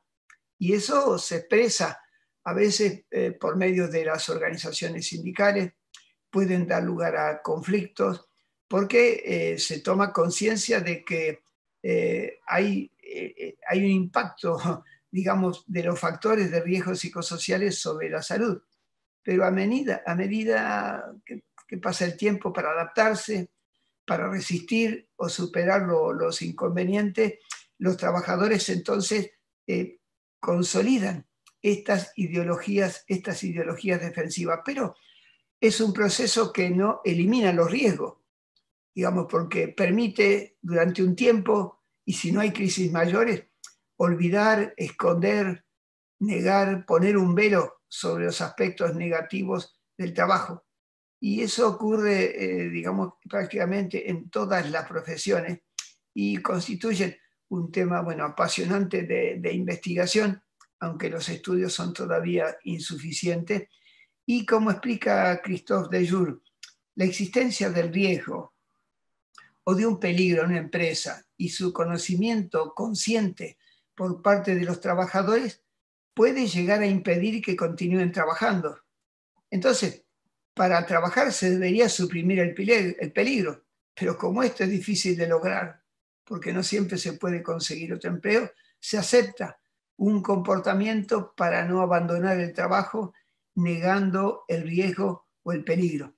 Y esta negación puede ser construida colectivamente, eh, pero el problema es que cuando se construye esta ideología defensiva del oficio de forma colectiva, el colectivo trata de aislar rápidamente a quien muestre miedo a ese riesgo que los demás tratan de negar y básicamente eso se aísla a un trabajador más débil que no quiere seguir ese comportamiento colectivo. Entonces, esta, esta segundo, segundo lugar donde, tienen, donde podemos estudiar este problema es eh, ya no en empresa, o organización, sino en las relaciones con los compañeros.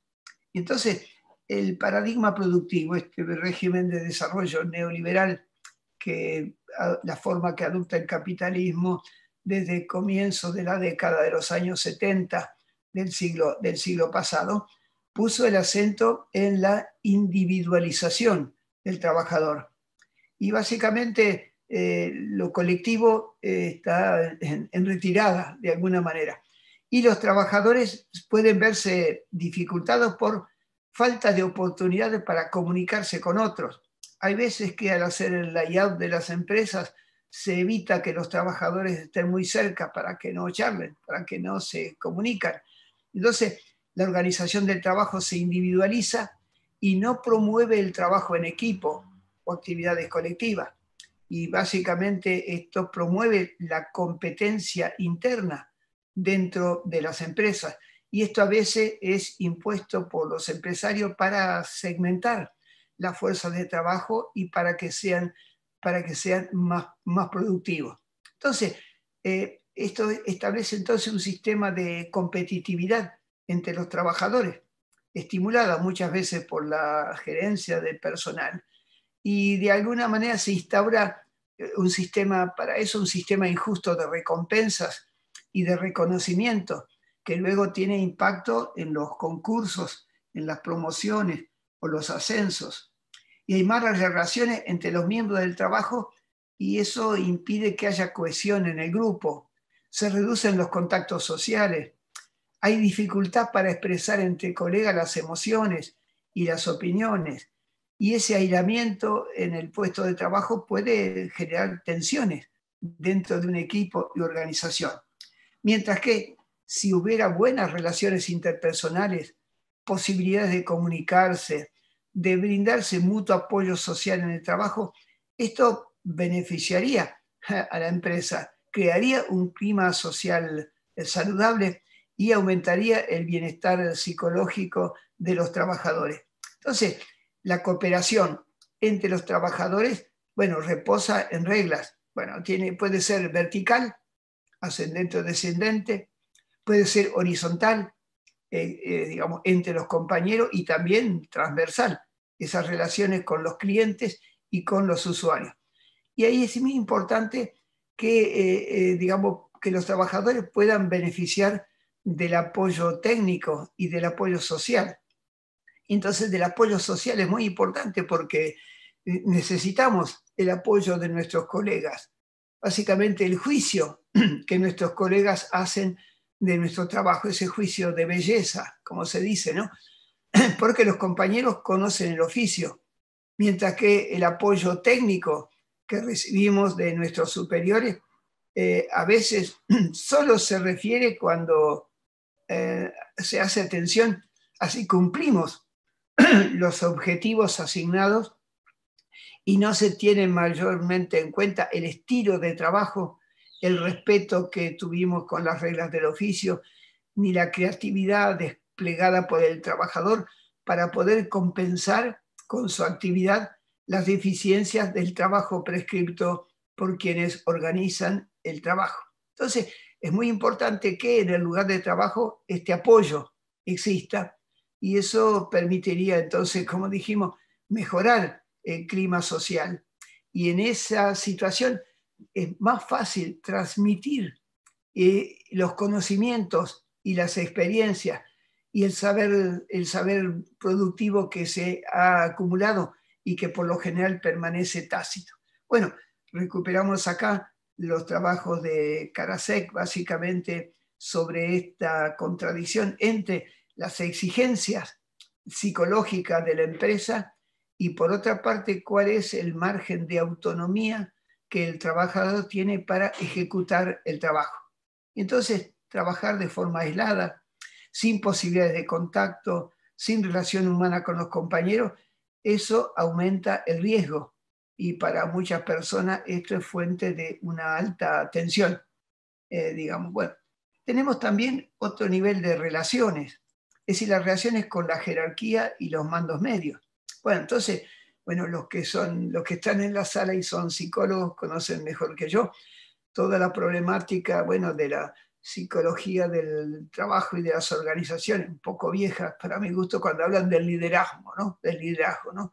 Digamos, ese es un proceso social que implica que un superior puede influenciar a los subordinados para organizar su trabajo, regular sus relaciones de comunicación y de comunicación y promoviendo, eh, digamos, el apoyo, digamos, entre los trabajadores para que se logren los objetivos.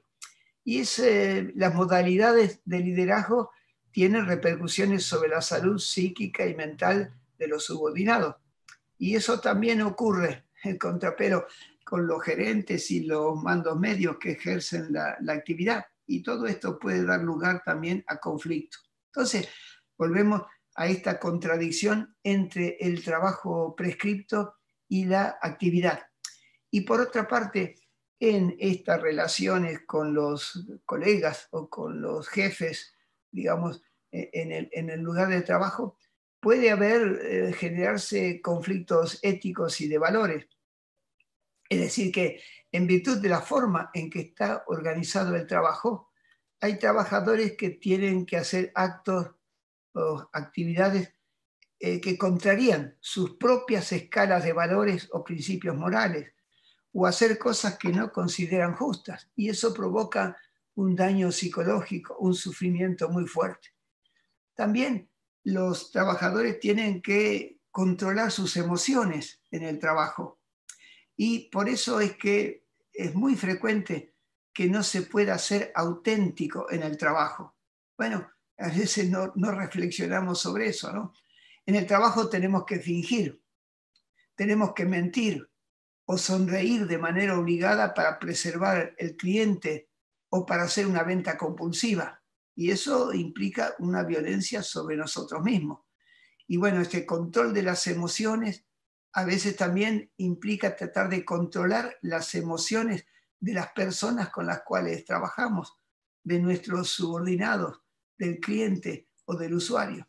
Entonces, la calidad y la modalidad con que los superiores ejercen la función de dirección y control sobre los trabajadores es muy importante, porque hay sistemas internos de poder que son muy autoritarios, muy centralizados. Es la organización científica del trabajo que los gobierna. No se delegan responsabilidades.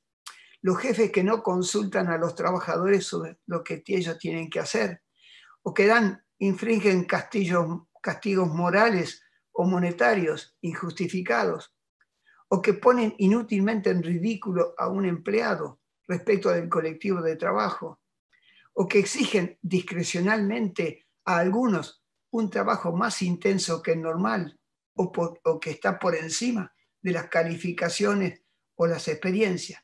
Entonces, es muy importante porque cuando falta ese apoyo técnico o ese apoyo social, bueno, esto provoca estrés, desincentiva al trabajador, no involucra, su no involucra al trabajador en la marcha de la empresa y no facilita el aprendizaje. Y bueno, generalmente esto provoca un sufrimiento psíquico y mental que puede somatizarse y dar lugar a enfermedades. O están también las relaciones del trabajador con la empresa o con la organización. Bueno, y esto acá es muy importante en la forma en que adopta el modo de desarrollo actualmente, ese modo de desarrollo neoliberal. porque se habla de los cambios que ocurrieron a mediados de los años 70 en los países capitalistas en el mundo entero, básicamente donde emerge ese nuevo paradigma productivo o el nuevo espíritu del capitalismo. ¿sí? No ya el espíritu calvinista, de alguna manera, de la época de la, reforma protestante, sino el, nuevo espíritu del capitalismo en el cual la empresa, eh, por medio de, de, los, de los líderes, de los jefes supervisores, de alguna manera, tratan de aumentar, pero no ya de manera violenta eh, físicamente, sino también de manera moral y simbólica, que aumente la eficacia productiva de la empresa, la productividad, la calidad, el cumplimiento de los plazos de entrega.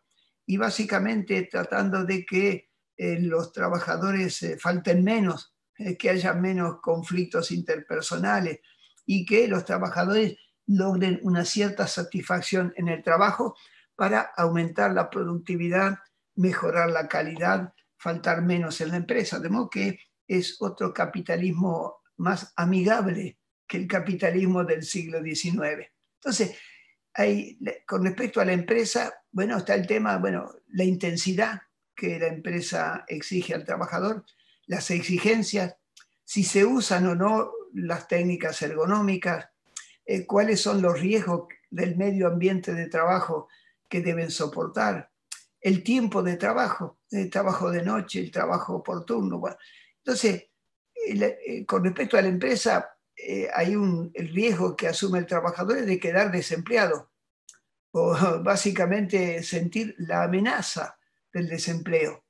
O, como está ocurriendo, por lo menos en Argentina, eh, el avance del empleo de tipo precario. Es decir, los empleos de planta transitoria, los trabajadores que son contratados y no tienen un contrato por tiempo indeterminado y con garantías de estabilidad, los monotributistas o autónomos, o aquellos que tienen que trabajar sin estar registrados y por lo tanto carecen de derechos laborales. Entonces, porque hay una sensación de inseguridad o de incertidumbre que hace mucho daño básicamente, así como los cambios imprevistos en la organización de la empresa, las compras, las fusiones. Hay también esos procesos de reestructuración cada vez más frecuentes, donde hay una descentralización, achicamiento, eh, recurso a la subcontratación, a la tercerización. Y eso hace que muchas veces haya una reducción de personal y básicamente eh, sufrimos cuando eh, de nuestro colectivo, digamos, hay trabajadores que son despedidos, con los cuales teníamos una buena relación, y eso destruye el colectivo de trabajo. Entonces, eh, todos los trabajadores esperan que la empresa los recompense con una remuneración justa, que haya un reconocimiento moral y simbólico, y sobre todo que el trabajo que le asignen sea adecuado a sus calificaciones y competencias, que puedan hacer carrera dentro de la empresa u organización en función de su desempeño y de su antigüedad en el puesto, y que puedan hacer escuchar sus reclamos y ser tratados de manera justa sin ser víctimas de discriminación que sigue existiendo en muchas de las empresas por sus opiniones políticas, religiosas, sindicales, por la nacionalidad, la raza o la apariencia física y que de alguna manera los trabajadores puedan participar de alguna manera en las, en las instituciones sociales de bienestar que tiene la empresa para controlarlas y para autogestionar. Entonces, la estima es un componente importante, digamos, una manera, eh, es una de las recompensas, de alguna manera, eh, un reconocimiento moral y simbólico que el trabajador necesita de alguna manera para poder ejecutar y poder ser feliz en el trabajo. Entonces, incluye obviamente el reconocimiento de los superiores por el esfuerzo realizado y, el apoyo, y darle un apoyo adecuado y un trato justo. También está esta compensación psicológica en los fundamentos del modelo de Sigris, ¿no? De alguna manera en el cual no solamente el trabajador necesita la recompensa económica para reproducir la fuerza del trabajo, sino un reconocimiento por el esfuerzo, por el tiempo destinado, por la atención al trabajo, por el cuidado de la calidad, por la productividad. Y eso tiene que ser de alguna manera eh, reconocido moral y simbólicamente por los empresarios que por lo general hacen sobre el trabajo del empleado un juicio solamente de eficacia. Entonces, se requiere, obviamente, este nuevo paradigma requiere un compromiso por parte del trabajador para que el trabajo sea exitoso en cuanto a la productividad y la calidad. Y puede buscarse una implicación afectiva. Es decir, buscar que el trabajador esté apegado a los colegas y sobre todo a la empresa. O puede haber una implicación normativa, es decir, que hay una norma y el trabajador tiene que eh, comprometerse porque si no puede ser objeto de una sanción. Y hay también una implicación racionalmente calculada, es decir, que la empresa estima los costos y los beneficios que acarrea eh, eh, que, permanezca ese trabajador o si tiene que despedirlo porque no está contento con su rendimiento. Ahora bien, la persona no siempre se identifica con la empresa, eh, de alguna manera por la forma en que ésta está organizada. Más bien, hay una, identificación con los compañeros, con ese colectivo de trabajo con el cual se comparten intereses, eh, eh, conversaciones, y de alguna manera ese apoyo social en el trabajo es realmente muy, pero muy importante. Y eso permite, si hay un apoyo social de los compañeros, eso compensa parcialmente la falta de reconocimiento mm, por parte de la empresa de su experiencia, de su autonomía, de alguna manera, y ese apoyo, de alguna manera lo podemos demandar o a veces lo recibimos de una manera espontánea por parte de los compañeros. Frente a esta necesidad de apoyo, hay estrategias empresariales digamos, de gestión de los recursos humanos que de alguna manera buscan, con ayuda de los psicólogos del trabajo, la psicología industrial, que los trabajadores se involucren, que sientan que los problemas de la empresa son también sus propios problemas. Y de alguna manera esto implica un mayor esfuerzo por parte del trabajador. tenemos también, y esto es relativamente nuevo, esta relación de los, con los clientes y los usuarios. Es decir, que en este modo de desarrollo neoliberal, desde mediados de los años 70, el capitalismo descubrió la importancia de los clientes y de los usuarios. Básicamente, eh, antes la, demanda de los productos era superior a la oferta. Bueno, ahora la oferta es superior a la demanda entonces se necesitan clientes y usuarios. Entonces, esto es clave para las empresas, porque, bueno, se trata de alguna manera de organizar la relación con los clientes y con los usuarios, donde muchas veces hay eh, gestos de violencia física o sobre todo verbal, básicamente. Y bueno, eh, digamos, hay veces que eh, la empresa trata de responder a la expectativa y, las necesidades de la violencia del público. Y eso, quien, quien ejecuta el trabajo es el trabajador. Hay veces en que el trabajo está mal organizado y los tiempos de espera para atender al cliente son importantes y los clientes se ponen nerviosos, eh, a veces coléricos. A veces está mal organizado el trabajo y hay procedimientos administrativos rígidos, sobre todo en la administración pública que no tienen en cuenta cuáles son las demandas de los usuarios. Eh, también eh, cuando los, los, empleados están aislados, eh, digamos, y tienen que trabajar en horarios atípicos o irregulares, básicamente para satisfacer a los clientes. Y los clientes que están insatisfechos con los servicios, ya sea por la calidad, por el precio, digamos, están en situaciones eh, difíciles, eh, básicamente, y eso puede generar de violencia, eh, básicamente.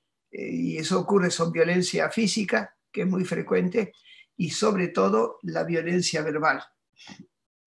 Ahora, los trabajadores en relación con el público, para fidelizarlo, como se dice, tienen que controlar sus emociones y no responder a la mala educación, los insultos eh, y la violencia de los usuarios, de los clientes, que a veces los someten a comportamientos humillantes, injustos y discriminatorios. Entonces, la bibliografía básicamente vincula esta, naturaleza emocional del trabajo en los servicios, digamos, y que implica de alguna manera que el trabajador tenga que reconocer que el cliente siempre tiene razón y que el, el usuario de los servicios públicos es como un ciudadano que como pagó los impuestos tiene derecho a exigir a ese empleado de alguna manera. Entonces, hace varias décadas ya que se requiere esa relación más estrecha del trabajador con los clientes y los usuarios. Pero hay una relación simétrica. Básicamente es el trabajador el que da la cara por la empresa. Eh, digamos, y no siempre tiene los recursos para solucionar los problemas en el tiempo exigido por los clientes y los usuarios. Y eso da lugar a violencias verbales, reprimendas, amenazas, insultos y a veces la violencia también física. Entonces, es muy importante este hecho de este control de las emociones, porque de trabajadores, como decía hace un rato, en el lugar de trabajo no siempre puede ser auténtico. Tiene que fingir, no mostrar sus emociones, tiene que mentir, sonreír de manera obligatoria, y eso implica una violencia sobre sí mismo. Entonces hay un fuerte e inesperado predominio de la violencia externa sobre la violencia interna en el trabajo. Sí, esto antes no se estudiaba, ahora son los clientes y los usuarios y eh, factores externos a la empresa que ejercen violencia sobre los trabajadores. Y como decía recién nuestro colega, esta violencia de psíquicas, eh, violencia de alguna manera que no es la violencia física, afecta más a las mujeres que a los varones. Y eh, de alguna manera también puede ser una violencia que puede ser vertical y de los trabajadores con los superiores, de alguna manera, eh, puestos técnicos, de alguna manera, eh, mandos medios, básicamente, y constatamos que es una relación muy directa y muy clara entre los que han sufrido estas presiones o agresiones de los clientes, de los pacientes o de los familiares de los pacientes. No sé si pasa lo mismo en Uruguay que en Argentina. Bueno, los trabajadores del sector salud son los que más han sufrido el impacto de esta, de esta pandemia, eh, porque básicamente eh, han tenido que hacer frente, bueno, no solamente a los pacientes, sino a los familiares que están inquietos, eh, coléricos, porque quieren tener noticias o lo que fuera, bueno, esa relación con el, este, ya no es con el, con el paciente, sino con los familiares, básicamente. Entonces, esto, estos temas pueden ser, digamos, objeto de análisis, obviamente, y lo que importa es comenzar a prevenirlo. Y, digamos, yo creo que eh, un instrumento, una institución en la cual la prevención puede tener lugar, eh, básicamente es a través de las comisiones mixtas de salud, seguridad y condiciones de trabajo, o en las empresas más pequeñas donde hay delegados sindicales o delegados a, la prevención. Y esto es muy importante porque el tema de los riesgos psicosociales en el trabajo, que es uno, digamos, dentro de los cuales yo sitúo el tema de la violencia, bueno, no siempre ha sido objeto de la negociación colectiva y no es algo para las comisiones mixtas se ocupen con, prioridad. Entonces, las consecuencias de todo esto es, eh, digamos, eh, digamos, no tanto, eh, digamos, lo que están tratando de analizar, no es tanto el dolor el hueso, huesos rotos, sangre derramada, eh, sino el sufrimiento que eh, experimentan los trabajadores cuando hay esta violencia que no es solamente la física, sino esta violencia simbólica, la violencia verbal, digamos. Entonces, es muy importante la acción de las organizaciones sindicales. Y dentro de la empresa, obviamente, la función de los encargados de la gestión de la fuerza de trabajo, digamos, para poder evitar que se genere actos de violencia en todas sus modalidades. La importancia ahí de los protocolos, es decir, los protocolos con los cuales la legislación en varios países trata de controlar la violencia. Y es muy importante, eh, además de, de, los encargados de la gestión de la fuerza del trabajo para organizar mejor el trabajo de las organizaciones sindicales. Y bueno, dentro de las empresas es muy importante que los trabajadores no se limiten a ser observadores pasivos frente a actos de violencia o de acoso. Bueno, eso es muy importante porque por lo general hay testigos, hay testigos pasivos de alguna manera para que bueno, todos los trabajadores se involucren en el cuidado de la vida y de la salud de los demás y de que se puedan defender de una manera civilizada en la empresa. Pero entonces, lo más importante, me parece a mí, es que hay que erradicar las causas para poder prevenir. Y lo más importante, digamos, es cambiar el contenido y la organización del proceso de trabajo para humanizarlo y que sea un factor de desarrollo personal y social.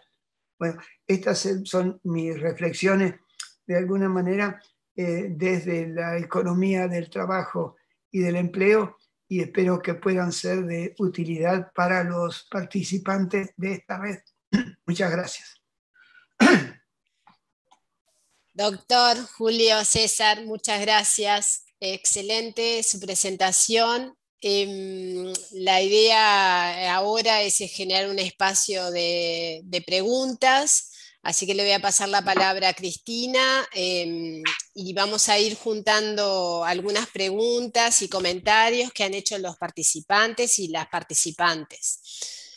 Así que, este, bien. Muy bien, muchas gracias. Me encantó también la, la conferencia del profesor Nefa bien interesante cómo se vinculan las, las, dos conferencias. Una hablando del ciberacoso y otro acerca del clima de trabajo. Y a, mí lo que me, gustó de la conferencia de NEFA fue el apoyo social que requiere el trabajador. Bien interesante si eso lo vinculamos con, con las sentencias de, de suicidios que, mm, lamentables que mencionó también Cristóbal. Bueno, yo ya he recibido algunas preguntas, recordamos que este, mm, las preguntas son por escrito, eh, a través del chat, si son tan amables, y se las vamos a hacer a los, a los ponentes para que ellos tengan más tiempo para, para exponer. Em, eh, eh, tengo eh, varias preguntas para Cristóbal. son las siguientes, Cristóbal. te las hago todas juntas, si te parece. La primera refiere a estrategias de prevención del ciberacoso. O sea, estrategia de prevención.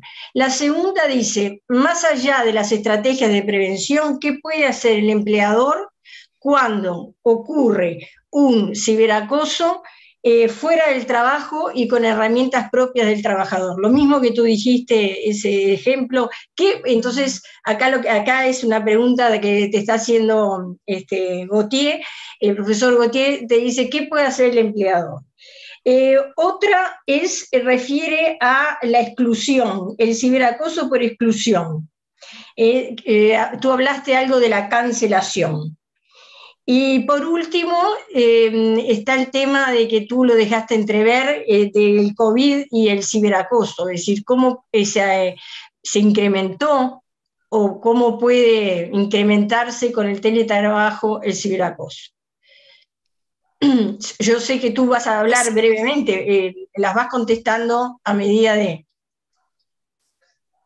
Son cuatro parece. Cristina, hacemos, hacemos todas las preguntas o hacemos eh, primero estas preguntas y luego las otras? A mí me parece que primero estas preguntas y después vemos si hay otras. Perfecto, porque tenemos otras. Por eso.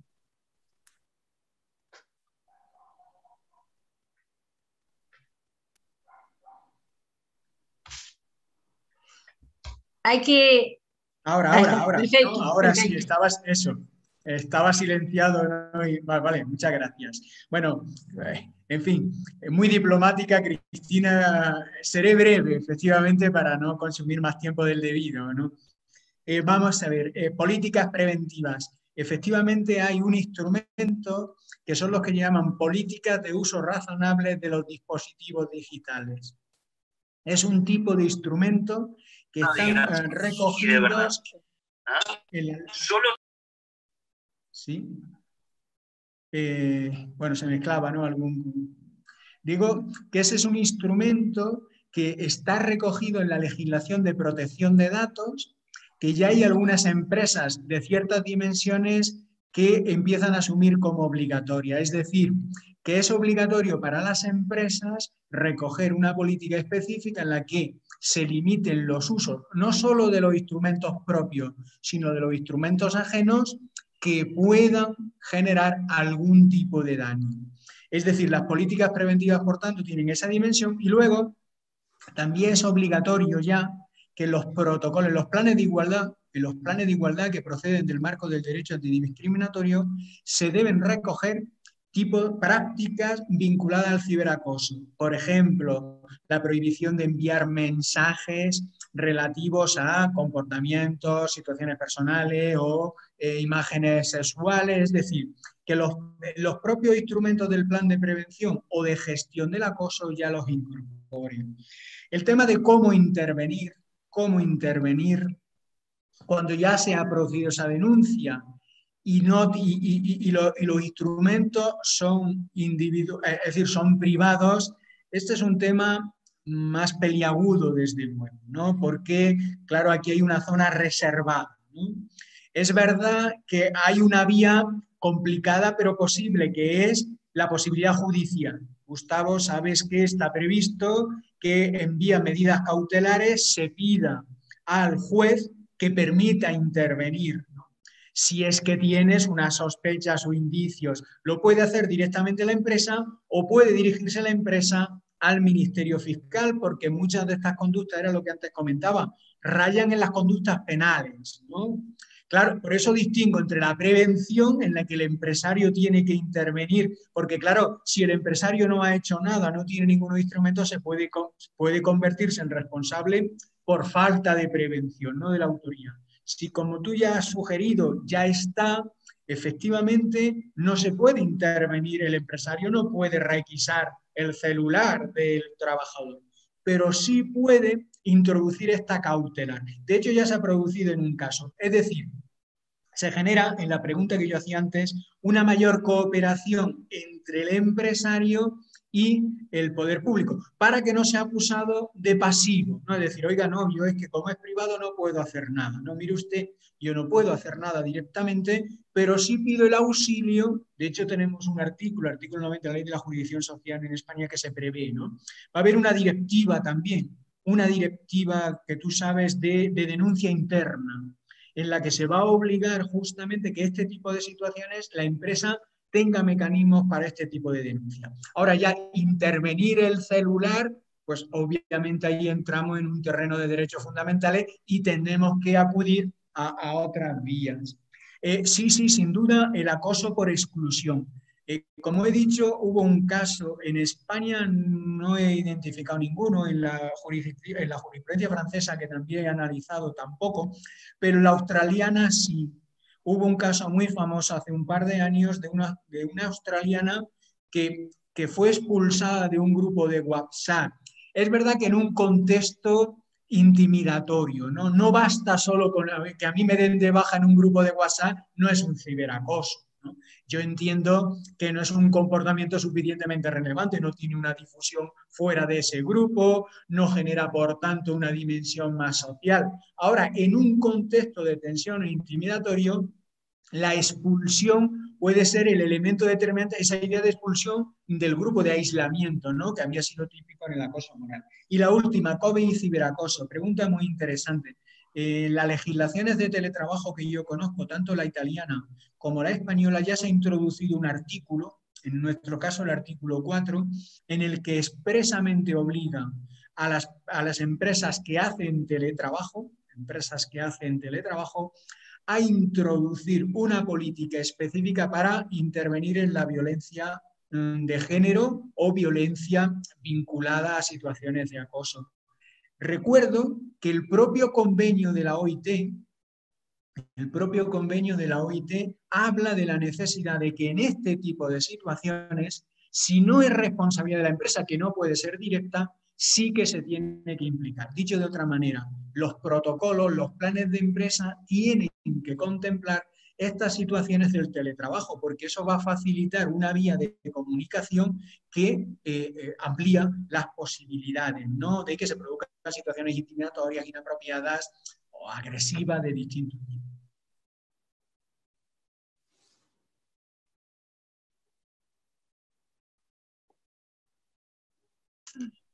Bueno, por mi parte ya digo por no emplear. Perfecto. Nos quedamos con ganas de más, este, de más explicación, pero como dije breve, te agradezco, te agradezco mucho. Cristóbal, después vemos si podemos ampliar. Silvia, tú tenías otras preguntas. Sí, quería, quería hacer una pregunta eh, que, nos vienen por el chat, que tiene que ver con, profesor, eh, es, va dirigida al profesor eh, Nefa. Em, profesor, usted que hablaba del tema del teletrabajo, ¿no? Ahora que estamos en, esta situación de pandemia, el tema del teletrabajo y la, asociado a la individualización del trabajador en, su, ámbito de trabajo. El teletrabajo como que incrementa este, estos espacios individuales, ¿verdad? Entonces, eh, asociado a lo que mm, usted plantea sobre el apoyo social, eh, clave para, de alguna manera eh, equilibrar el tema de la violencia en el trabajo, eh, esta circunstancia de organización de trabajo como que estaría agudizando de alguna manera esta, esta situación solitaria, digamos, donde el colectivo, la solidaridad que se pueda establecer justamente entre, entre trabajadoras y trabajadores para defenderse en función de, las diferentes formas de violencia en la organización, estaría como eh, disminuido, digamos. ¿Algún comentario sobre eso, profesor? Y luego tal vez tenemos alguna otra pregunta también. Bueno, digamos, eh, la respuesta no es sencilla. Eh, básicamente porque en el, eh, esquema de lo que traté de, explicar, muchos de estos problemas que estamos analizando hoy se han agudizado, existían, pero se han agudizado con el, cambio del modo de desarrollo. Es decir, que eh, básicamente durante un periodo bastante largo de la historia, digamos, sobre todo en los países eh, capitalistas industrializados primero y después eso repercutió sobre el resto, hubo un, modo de desarrollo en el cual eh, había un Estado fuerte, un Estado potente que planificaba la economía, eh, digamos, había una situación de casi pleno empleo, la productividad había crecido por el uso de la organización científica del trabajo y la mecanización, y eso permitía eh, salarios elevados que, estaban por encima del crecimiento de la productividad y de la, y de la inflación, y eh, digamos, donde, digamos, una economía que crecía a, a tasas elevadas durante, y eso pasó durante 30 años hasta que eh, la crisis de alguna manera de comienzo de los 70 eh, cambia los datos del problema. Y a partir de ahí es otro el modo de desarrollo y básicamente en el capitalismo, cualquiera sean los autores y la escuela económica, lo que está claro que en el mediano y largo plazo se observa una caída en las tasas de ganancia. Esto, ustedes se dan cuenta que es central para el capitalismo. El capitalismo, eh, digamos, eh, no tiene, busca no tener límites en cuanto a la obtención de las tasas de ganancia, pero el hecho es que por razones de tipo estructural, esa tasa de ganancia va cayendo. Y los empresarios, ante esa situación, lo que buscan es reducir los costos. Es decir, que ya que no pueden aumentar la tasa de ganancia, eh, tratan de reducir los costos, los costos fijos y los costos variables. Y la forma de hacerlo es básicamente intensificando el trabajo y recurriendo a las nuevas tecnologías.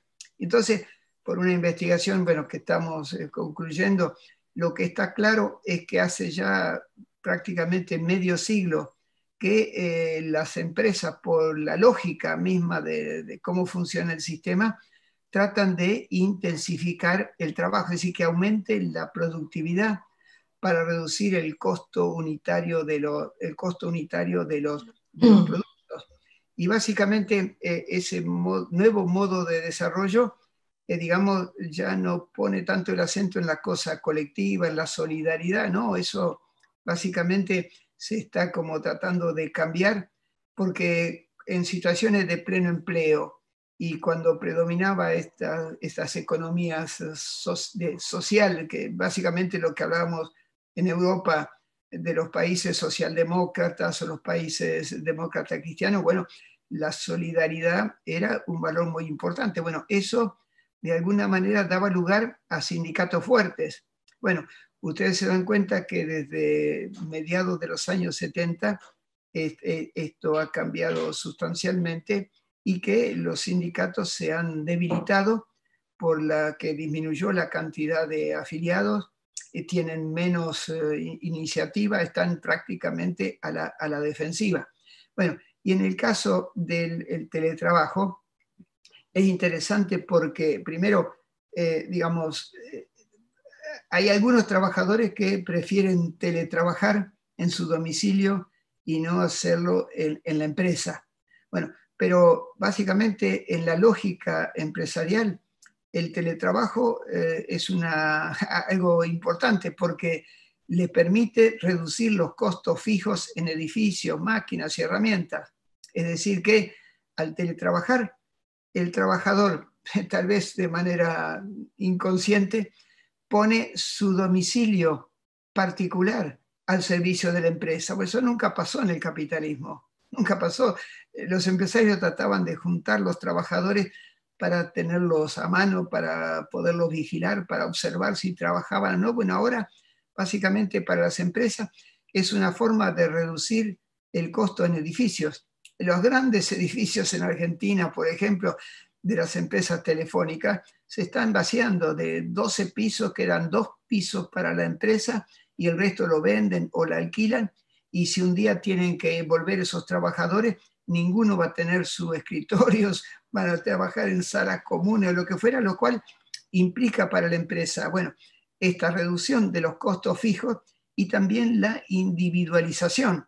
Y ustedes se dan cuenta que el teletrabajo directa o indirectamente debilita la acción, debilita la acción sindical. De modo que estos serían un poco mis comentarios a esa pregunta. Muchas gracias, profesor. Sí. Eh, Cristina, te... Ay, no, ahí te saco, ahí te, te moviste del lugar. Ahí te tengo.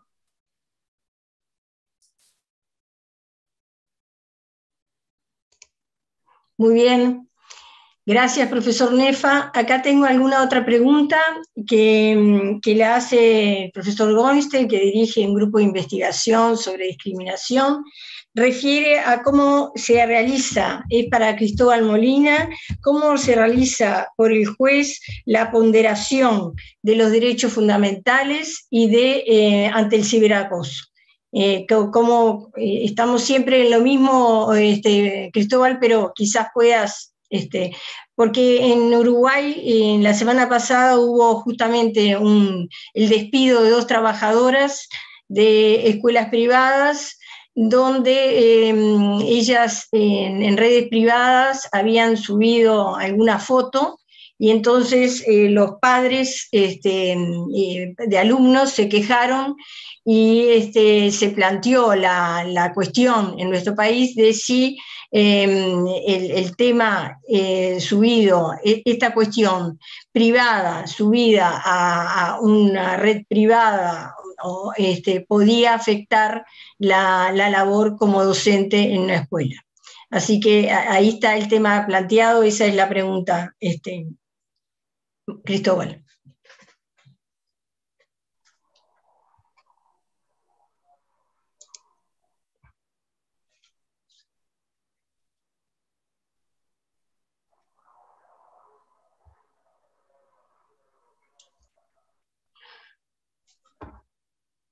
Ahora, ahora, es que no, eh, cuesta, es que claro, el anfitrión silencia, ¿no? Entonces, a veces cuesta, pero nada, nada, nos entendemos. Bueno, pues muy interesante, aunque le he dado una respuesta a Eduardo por el chat, pero me parece un tema muy sugerente eh, que, eh, que, se plantea en todos los países y además recientemente. le he comentado una sentencia también en España de hace un, un par de meses y, es un tema importante porque no se resuelve de la misma manera en todos los países. Hace unos, bueno, una semana tuve la oportunidad de debatir sobre este mismo tema con la, bueno, con la, Universidad de los Estudios de Milán, con la profesora María Teresa Carinci. Y veíamos que en Italia se resuelve de una manera y en España de otra. Me explico. Vamos a ver, una prueba, acceder a una red privada de los trabajadores por parte de terceros eh, vulneraría su derecho a la privacidad y por tanto sería una prueba nula. En principio, los derechos, salvo que estén abiertos, ¿no? El Tribunal Constitucional Español, en una sentencia muy interesante del año pasado, precisamente, la sentencia que es la 2720 de 24 de febrero, lo deja claro. Entre otras cosas, tampoco entiende mucho la distinción entre abierto y reservado porque dice que estas reglas son confusas en Internet, los acuerdos y los compromisos. Pero en cualquier caso sí deja claro que si son espacios reservados y se accede por distintas vías, se están vulnerando derechos de privacidad. Al vulnerar el derecho de privacidad, se está Ah, violando un derecho fundamental y la prueba es nula. Esto se ha producido, eh, le comentaba también otro caso mucho más reciente, en el que eh, eh, una trabajadora, digo para, para evidenciar, ¿no? Una trabajadora, queda constatado que el 70% de su tiempo lo dedica a asuntos particulares en Internet. Hace, utiliza, está continuamente en redes y la inmensa mayor parte a asuntos particulares. La empresa que sospecha hace una monitorización, pero entra en correos privados. ¿Qué ocurre? Dice el juez, oiga, está probado efectivamente que esta persona ha incumplido sus obligaciones, pero se hace a través de una prueba ilícita. Por tanto, primera idea que debe quedar clara. Cuando se invaden espacios reservados, se vulneran derechos de privacidad y eso es nulo. Lo dice el Tribunal Europeo de Derechos Humanos. ¿eh? También en otra sentencia, además en relación a España, que es la sentencia López Rival. Bueno, para quien le interese, 2018, muy interesante, está en internet y muy interesante porque el propio tribunal cambió, una sala dijo una cosa y luego en la sala general dijo otra. Ahora bien, el problema, es, hay un segundo problema. La prueba es nula. Ahora bien, ¿y si el empresario dispone de otra prueba que no esté contaminada? La doctrina americana del árbol envenenado, ¿no? La prueba, vamos, del árbol envenenado. Bien, aquí ya se diferencia. Por ejemplo, en Italia dirían, no, esa prueba ya no se puede despedir a los trabajadores o trabajadoras eh, porque es nula y por tanto está contaminada. Eso en Italia. En España, en España el Tribunal Constitucional dice, no, la prueba es nula. Se ha vulnerado un derecho, hay que resarcirlo. Pero si el, el empresario puede tener otras pruebas no contaminadas, el despido es procedente. No sé si me he explicado con claridad. Es un debate ahora mismo abierto, ¿eh? pero, pero hay ya distintas sentencias y bueno, no hay posiciones comunes del Tribunal Europeo, una cosa, pero, pero esta primera parte sí es muy clara. No se pueden utilizar estas vías que yo he leído ahí de entrar, buscar las fórmulas para, eso anularía la prueba. El tribunal tendría que anularla y si la, el despido se basa en esa prueba, tendría que no poder producirse. Otra cosa es el resarcimiento, ¿no? Si es nulo, si ya es solo una indemnización, bueno, eso está más discutido, pero esa prueba debería ser nula. Está bien, muy, interesante. Em, yo me quedé con, con la idea de preguntarte, en tu intervención anterior, hiciste referencia a una medida cautelar de la empresa. Supongo que te hacías mención a que el empresario pueda hacer una solicitud judicial para em, detener la, la, actuación del trabajador. ¿A eso esa es la medida cautelar?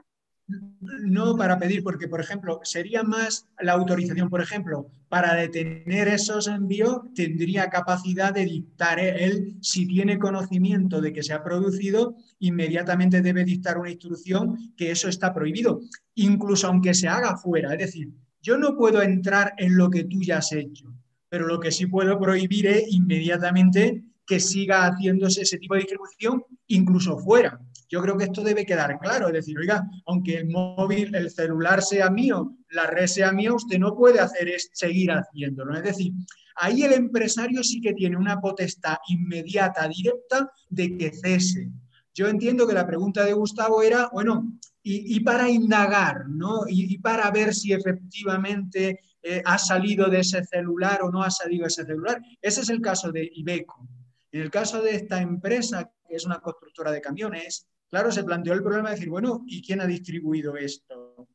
Ahí intervinieron el Ministerio Fiscal y la Inspección de Trabajo. Y lo que hizo la empresa es poner a disposición sus medios, pero se dejó inmediatamente en manos de la Fiscalía y de la Inspección de Trabajo, porque claro, tú ya no puedes entrar, ¿no? Ahora bien, prohibir, prohibir inmediato, ¿no? Y eso, y si no lo hace el empresario y no adopta medidas para que se corte inmediatamente, sí que puede tener responsabilidad.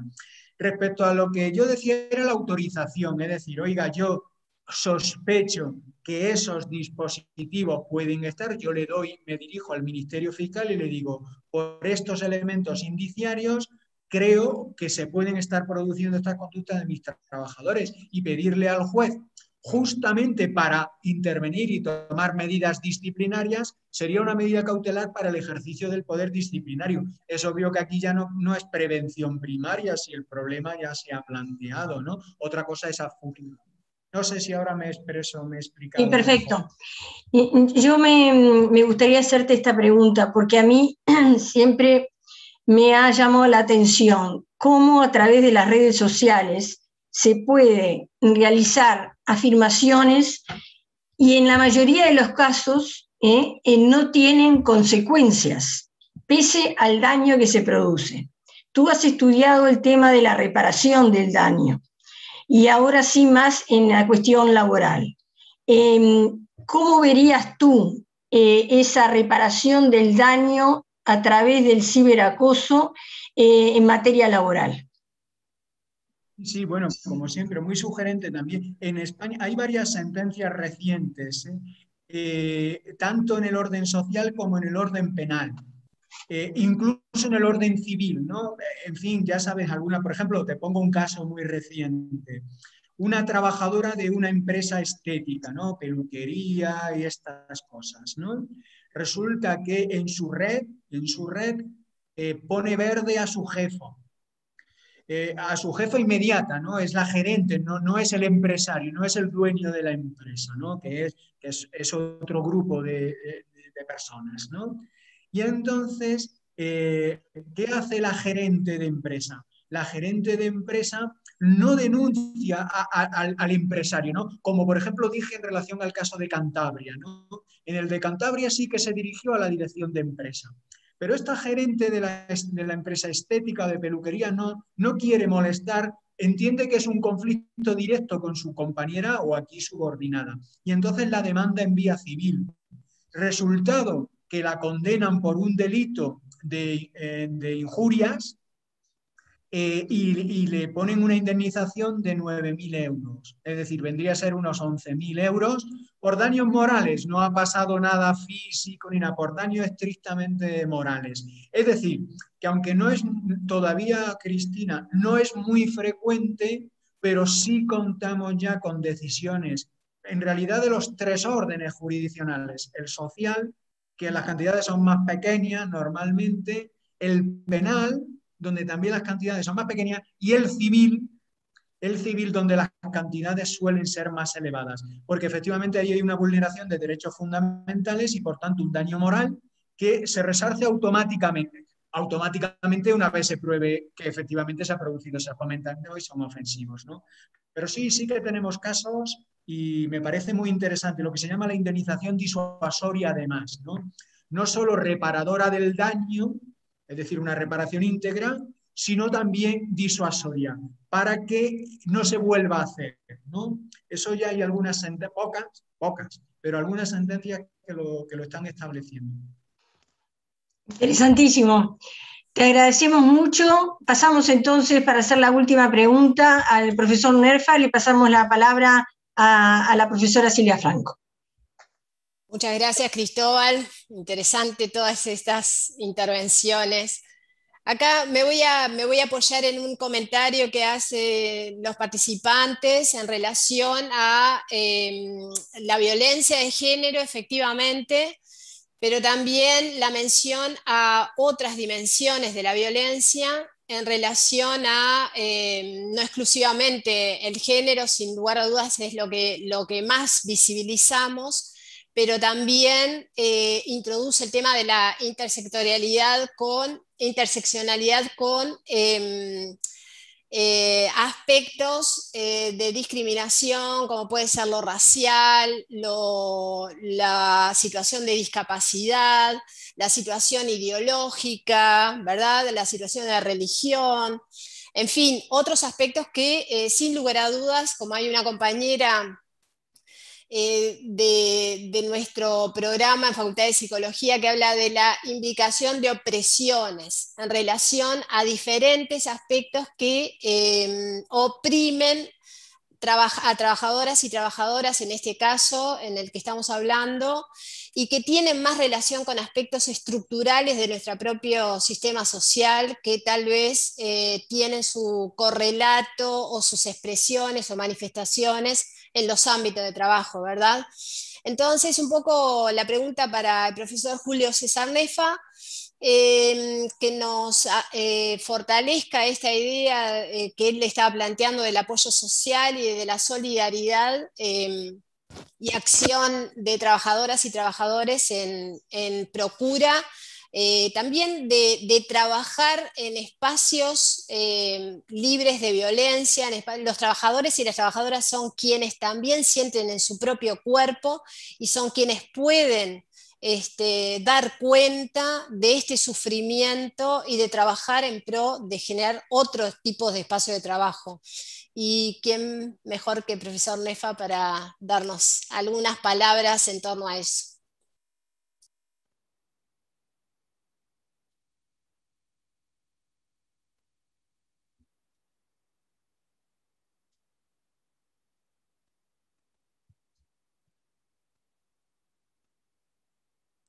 Profesor, espere que está muteado y no sé por qué no lo puedo desmutear. No, soy. Ah, ahora sí, ay, lo muteé y lo desmuteé. Ahora, a ver. A ver. Ahí. sí.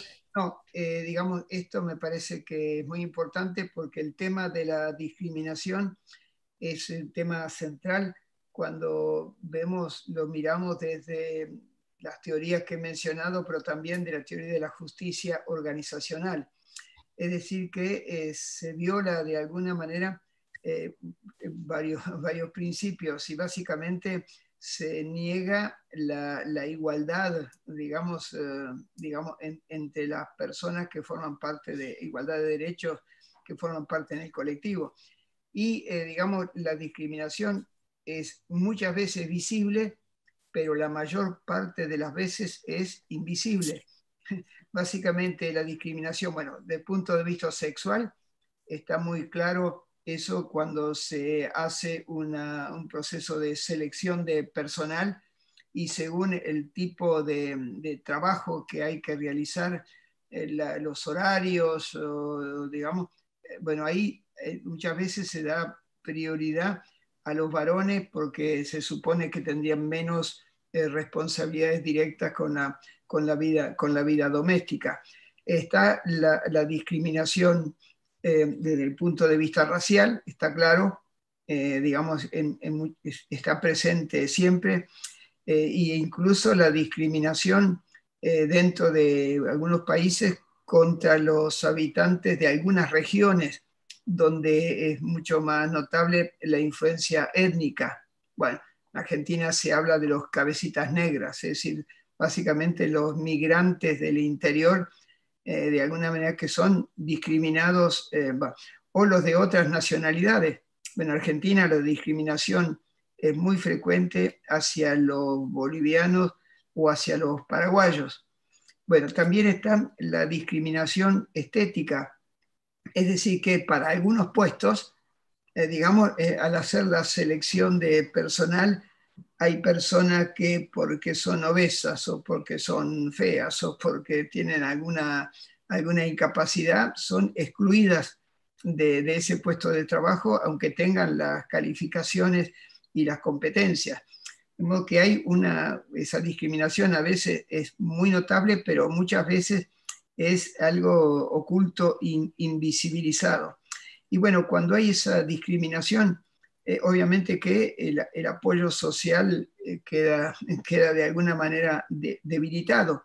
Y a veces los empresarios segmentan la fuerza de trabajo de la empresa o de la organización y generan un clivaje, se generan distintos sectores eh, básicamente, y eso es de alguna manera siguiendo el, esquema clásico de eh, dividir para reinar, es decir, que cuando hay un colectivo de trabajo y hay una solidaridad, bueno, el margen de, maniobra para discriminar por parte del empresario es menor, pero cuando se introduce eh, divisiones, dentro del colectivo de trabajo, con, hostigamiento, acoso a algunos de los trabajadores, bueno, ahí se genera un conflicto interno de alguna manera, y, pero que, no, que, que, que es muy importante, pero que sirve al empresario porque puede siempre negociar con los más débiles. Es el caso de muchos países donde hay eh, un pluralismo sindical y dentro de la misma empresa hay varios sindicatos, bueno, normalmente eh, el empresario negocia colectivamente con los que piden menos, con el sindicato más débil, y luego extiende los beneficios al resto. Bueno, que me parece a mí que, que esto es, es, muy importante, pero lo que yo quisiera notar ahora es que gracias a las nuevas tecnologías, de alguna manera, así como el profesor, nuestro colega español, habló del ciberacoso, hoy día eh, los algoritmos. Es decir, que eh, hay una cosa muy interesante ahora y es que, eh, por ejemplo, digamos, en la, hay muchas empresas que hacen selección de personal de manera virtual, utilizando algoritmos. Pero el que redacta esos algoritmos pone su escala de valores. Y bueno, finalmente pareciera que después la selección se hizo eh, de manera científica y no, dentro del algoritmo dice, bueno, los de más de 35 no, eh, las mujeres que tienen, que tienen muchos hijos tampoco, eh, la, las fotos, de alguna manera nuestra persona para recepcionista sería algo que ahuyentaría a los clientes o los usuarios. Bueno, el algoritmo ahora discrimina, básicamente, pero de una manera invisible y pareciera que fuera algo racional.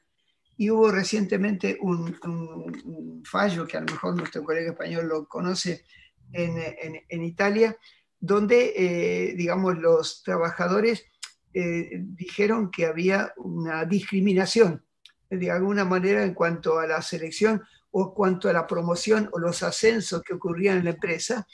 Y la empresa decía que no, que ella lo que hacía era ponía en marcha un algoritmo pero el problema es que el algoritmo estaba construido eh, generando una discriminación. Y entonces un juez italiano lo que dijo es que el algoritmo tendría que ser conocido por la organización sindical, es decir, el derecho a la información sobre el algoritmo con el cual los empresarios juzgan, evalúan, promueven o excluyen a los trabajadores. Vemos que hoy día la, las nuevas tecnologías se pueden usar para bien y para mal, de alguna manera. De modo que eh, se puede discriminar eh, de una manera informatizada, eh, no, quedan, no, quedan trazas, no quedan manchas de la mano de quien, de quien discrimina, y eso de alguna manera atenta contra la solidaridad. Entonces, me parece a mí que es muy importante lo que usted mencionaba de, cómo fortalecer el apoyo social, cómo estimular el trabajo colectivo o el trabajo en equipo en las empresas y no eh, estimular la competitividad entre los trabajadores, porque un método que sirve para discriminar eh, y para estimular la competitividad es lo que se llama la gestión de personal según las competencias, que es un modo de gestión individual, donde el, jefe de personal una vez al año por lo menos se reúne con un trabajador y le hace de alguna manera un bueno, interrogatorio y cuáles son sus expectativas, sus necesidades, y lo vuelve a ver el año que viene. Y si ese trabajador respondió un poco a las exigencias que le planteaba, hay un ascenso. Y si no, eh, queda, queda de alguna manera postergado.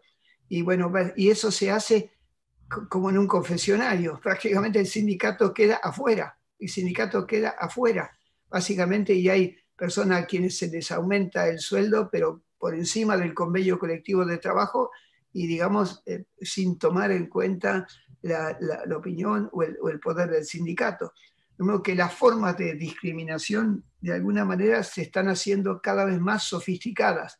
Yo pienso que siempre hubo discriminación, pero ahora se trata de invisibilizar, invisibilizarla para no dar lugar a un juicio o cosa por el estilo. De modo que ese sería un poco mi comentario. Muchas gracias, profesor. Eh, una, solamente una cosa, acá hay uno de los profesores participantes, Eduardo Goldstein, dice, bueno, queda mucha tela por cortar todavía. Eh, con el tema de la pandemia y con la post-pandemia. Así que muchas gracias. Sí. Terminamos entonces, ¿les parece bien? Cerramos, vamos cerrando la, este, este evento. Silvia, ¿te parece bien? Eh, le damos la palabra. Sí, te damos la palabra a Fernando para que cierre el evento.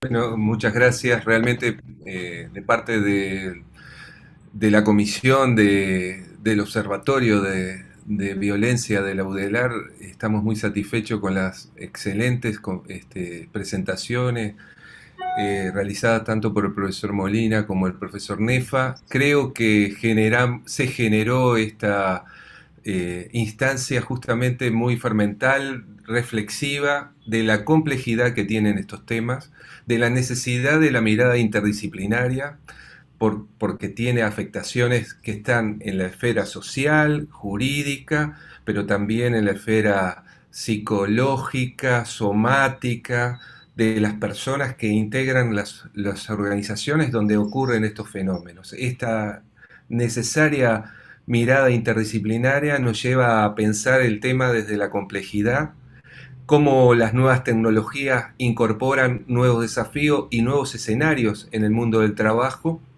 y que de alguna manera la necesidad de un abordaje intersectorial es claramente evidenciado por esta misma complejidad. Creo que en ese sentido, este primera instancia de este ciclo que ya invitamos para el 28 de junio a la misma hora, tendremos otros este, invitados de Argentina y de Chile, este, y que van a ir de alguna manera generando, y eso es lo que pretendemos desde la Universidad de la República y desde el Observatorio de Violencia, este, generar eh, reflexión, pensamiento crítico y eh, de alguna manera este, elementos que sustenten luego este, bueno, una práctica que dignifique las relaciones en el ámbito laboral. Así que agradecemos realmente por parte del observatorio este, la presencia de los dos excelentes profesores, expositores y de todos aquellos que han contribuido también con la reflexión, con la pregunta, con el seguimiento de esta instancia. Y los invitamos para el 24 de junio este, a estar nuevamente conectándose en esta instancia, en este espacio virtual. Un abrazo a todos. Muchas gracias. Hasta pronto. Hacen muy bien, muchas gracias. Gracias, profesores. Muchas gracias. Gracias. gracias. Muchísimas gracias por la invitación y aprendí mucho. Bueno, un placer. Para mí también ha sido muy interesante participar en este debate y en el chat, ¿no? Donde le hemos dado un poquito más de dinamismo al margen de las preguntas tan sugerentes que se han formulado. Así que a vuestra disposición. Y espero que formemos parte de esa red que queremos crear, ¿no? Para que esto crezca, ¿no? podamos avanzar, ¿no? Más de la mano. Pues nada, muchas gracias Cristina, Silvia y bueno, a los colegas y colegas de este ámbito. Gran abrazo a todos, gran abrazo. Pasen bien.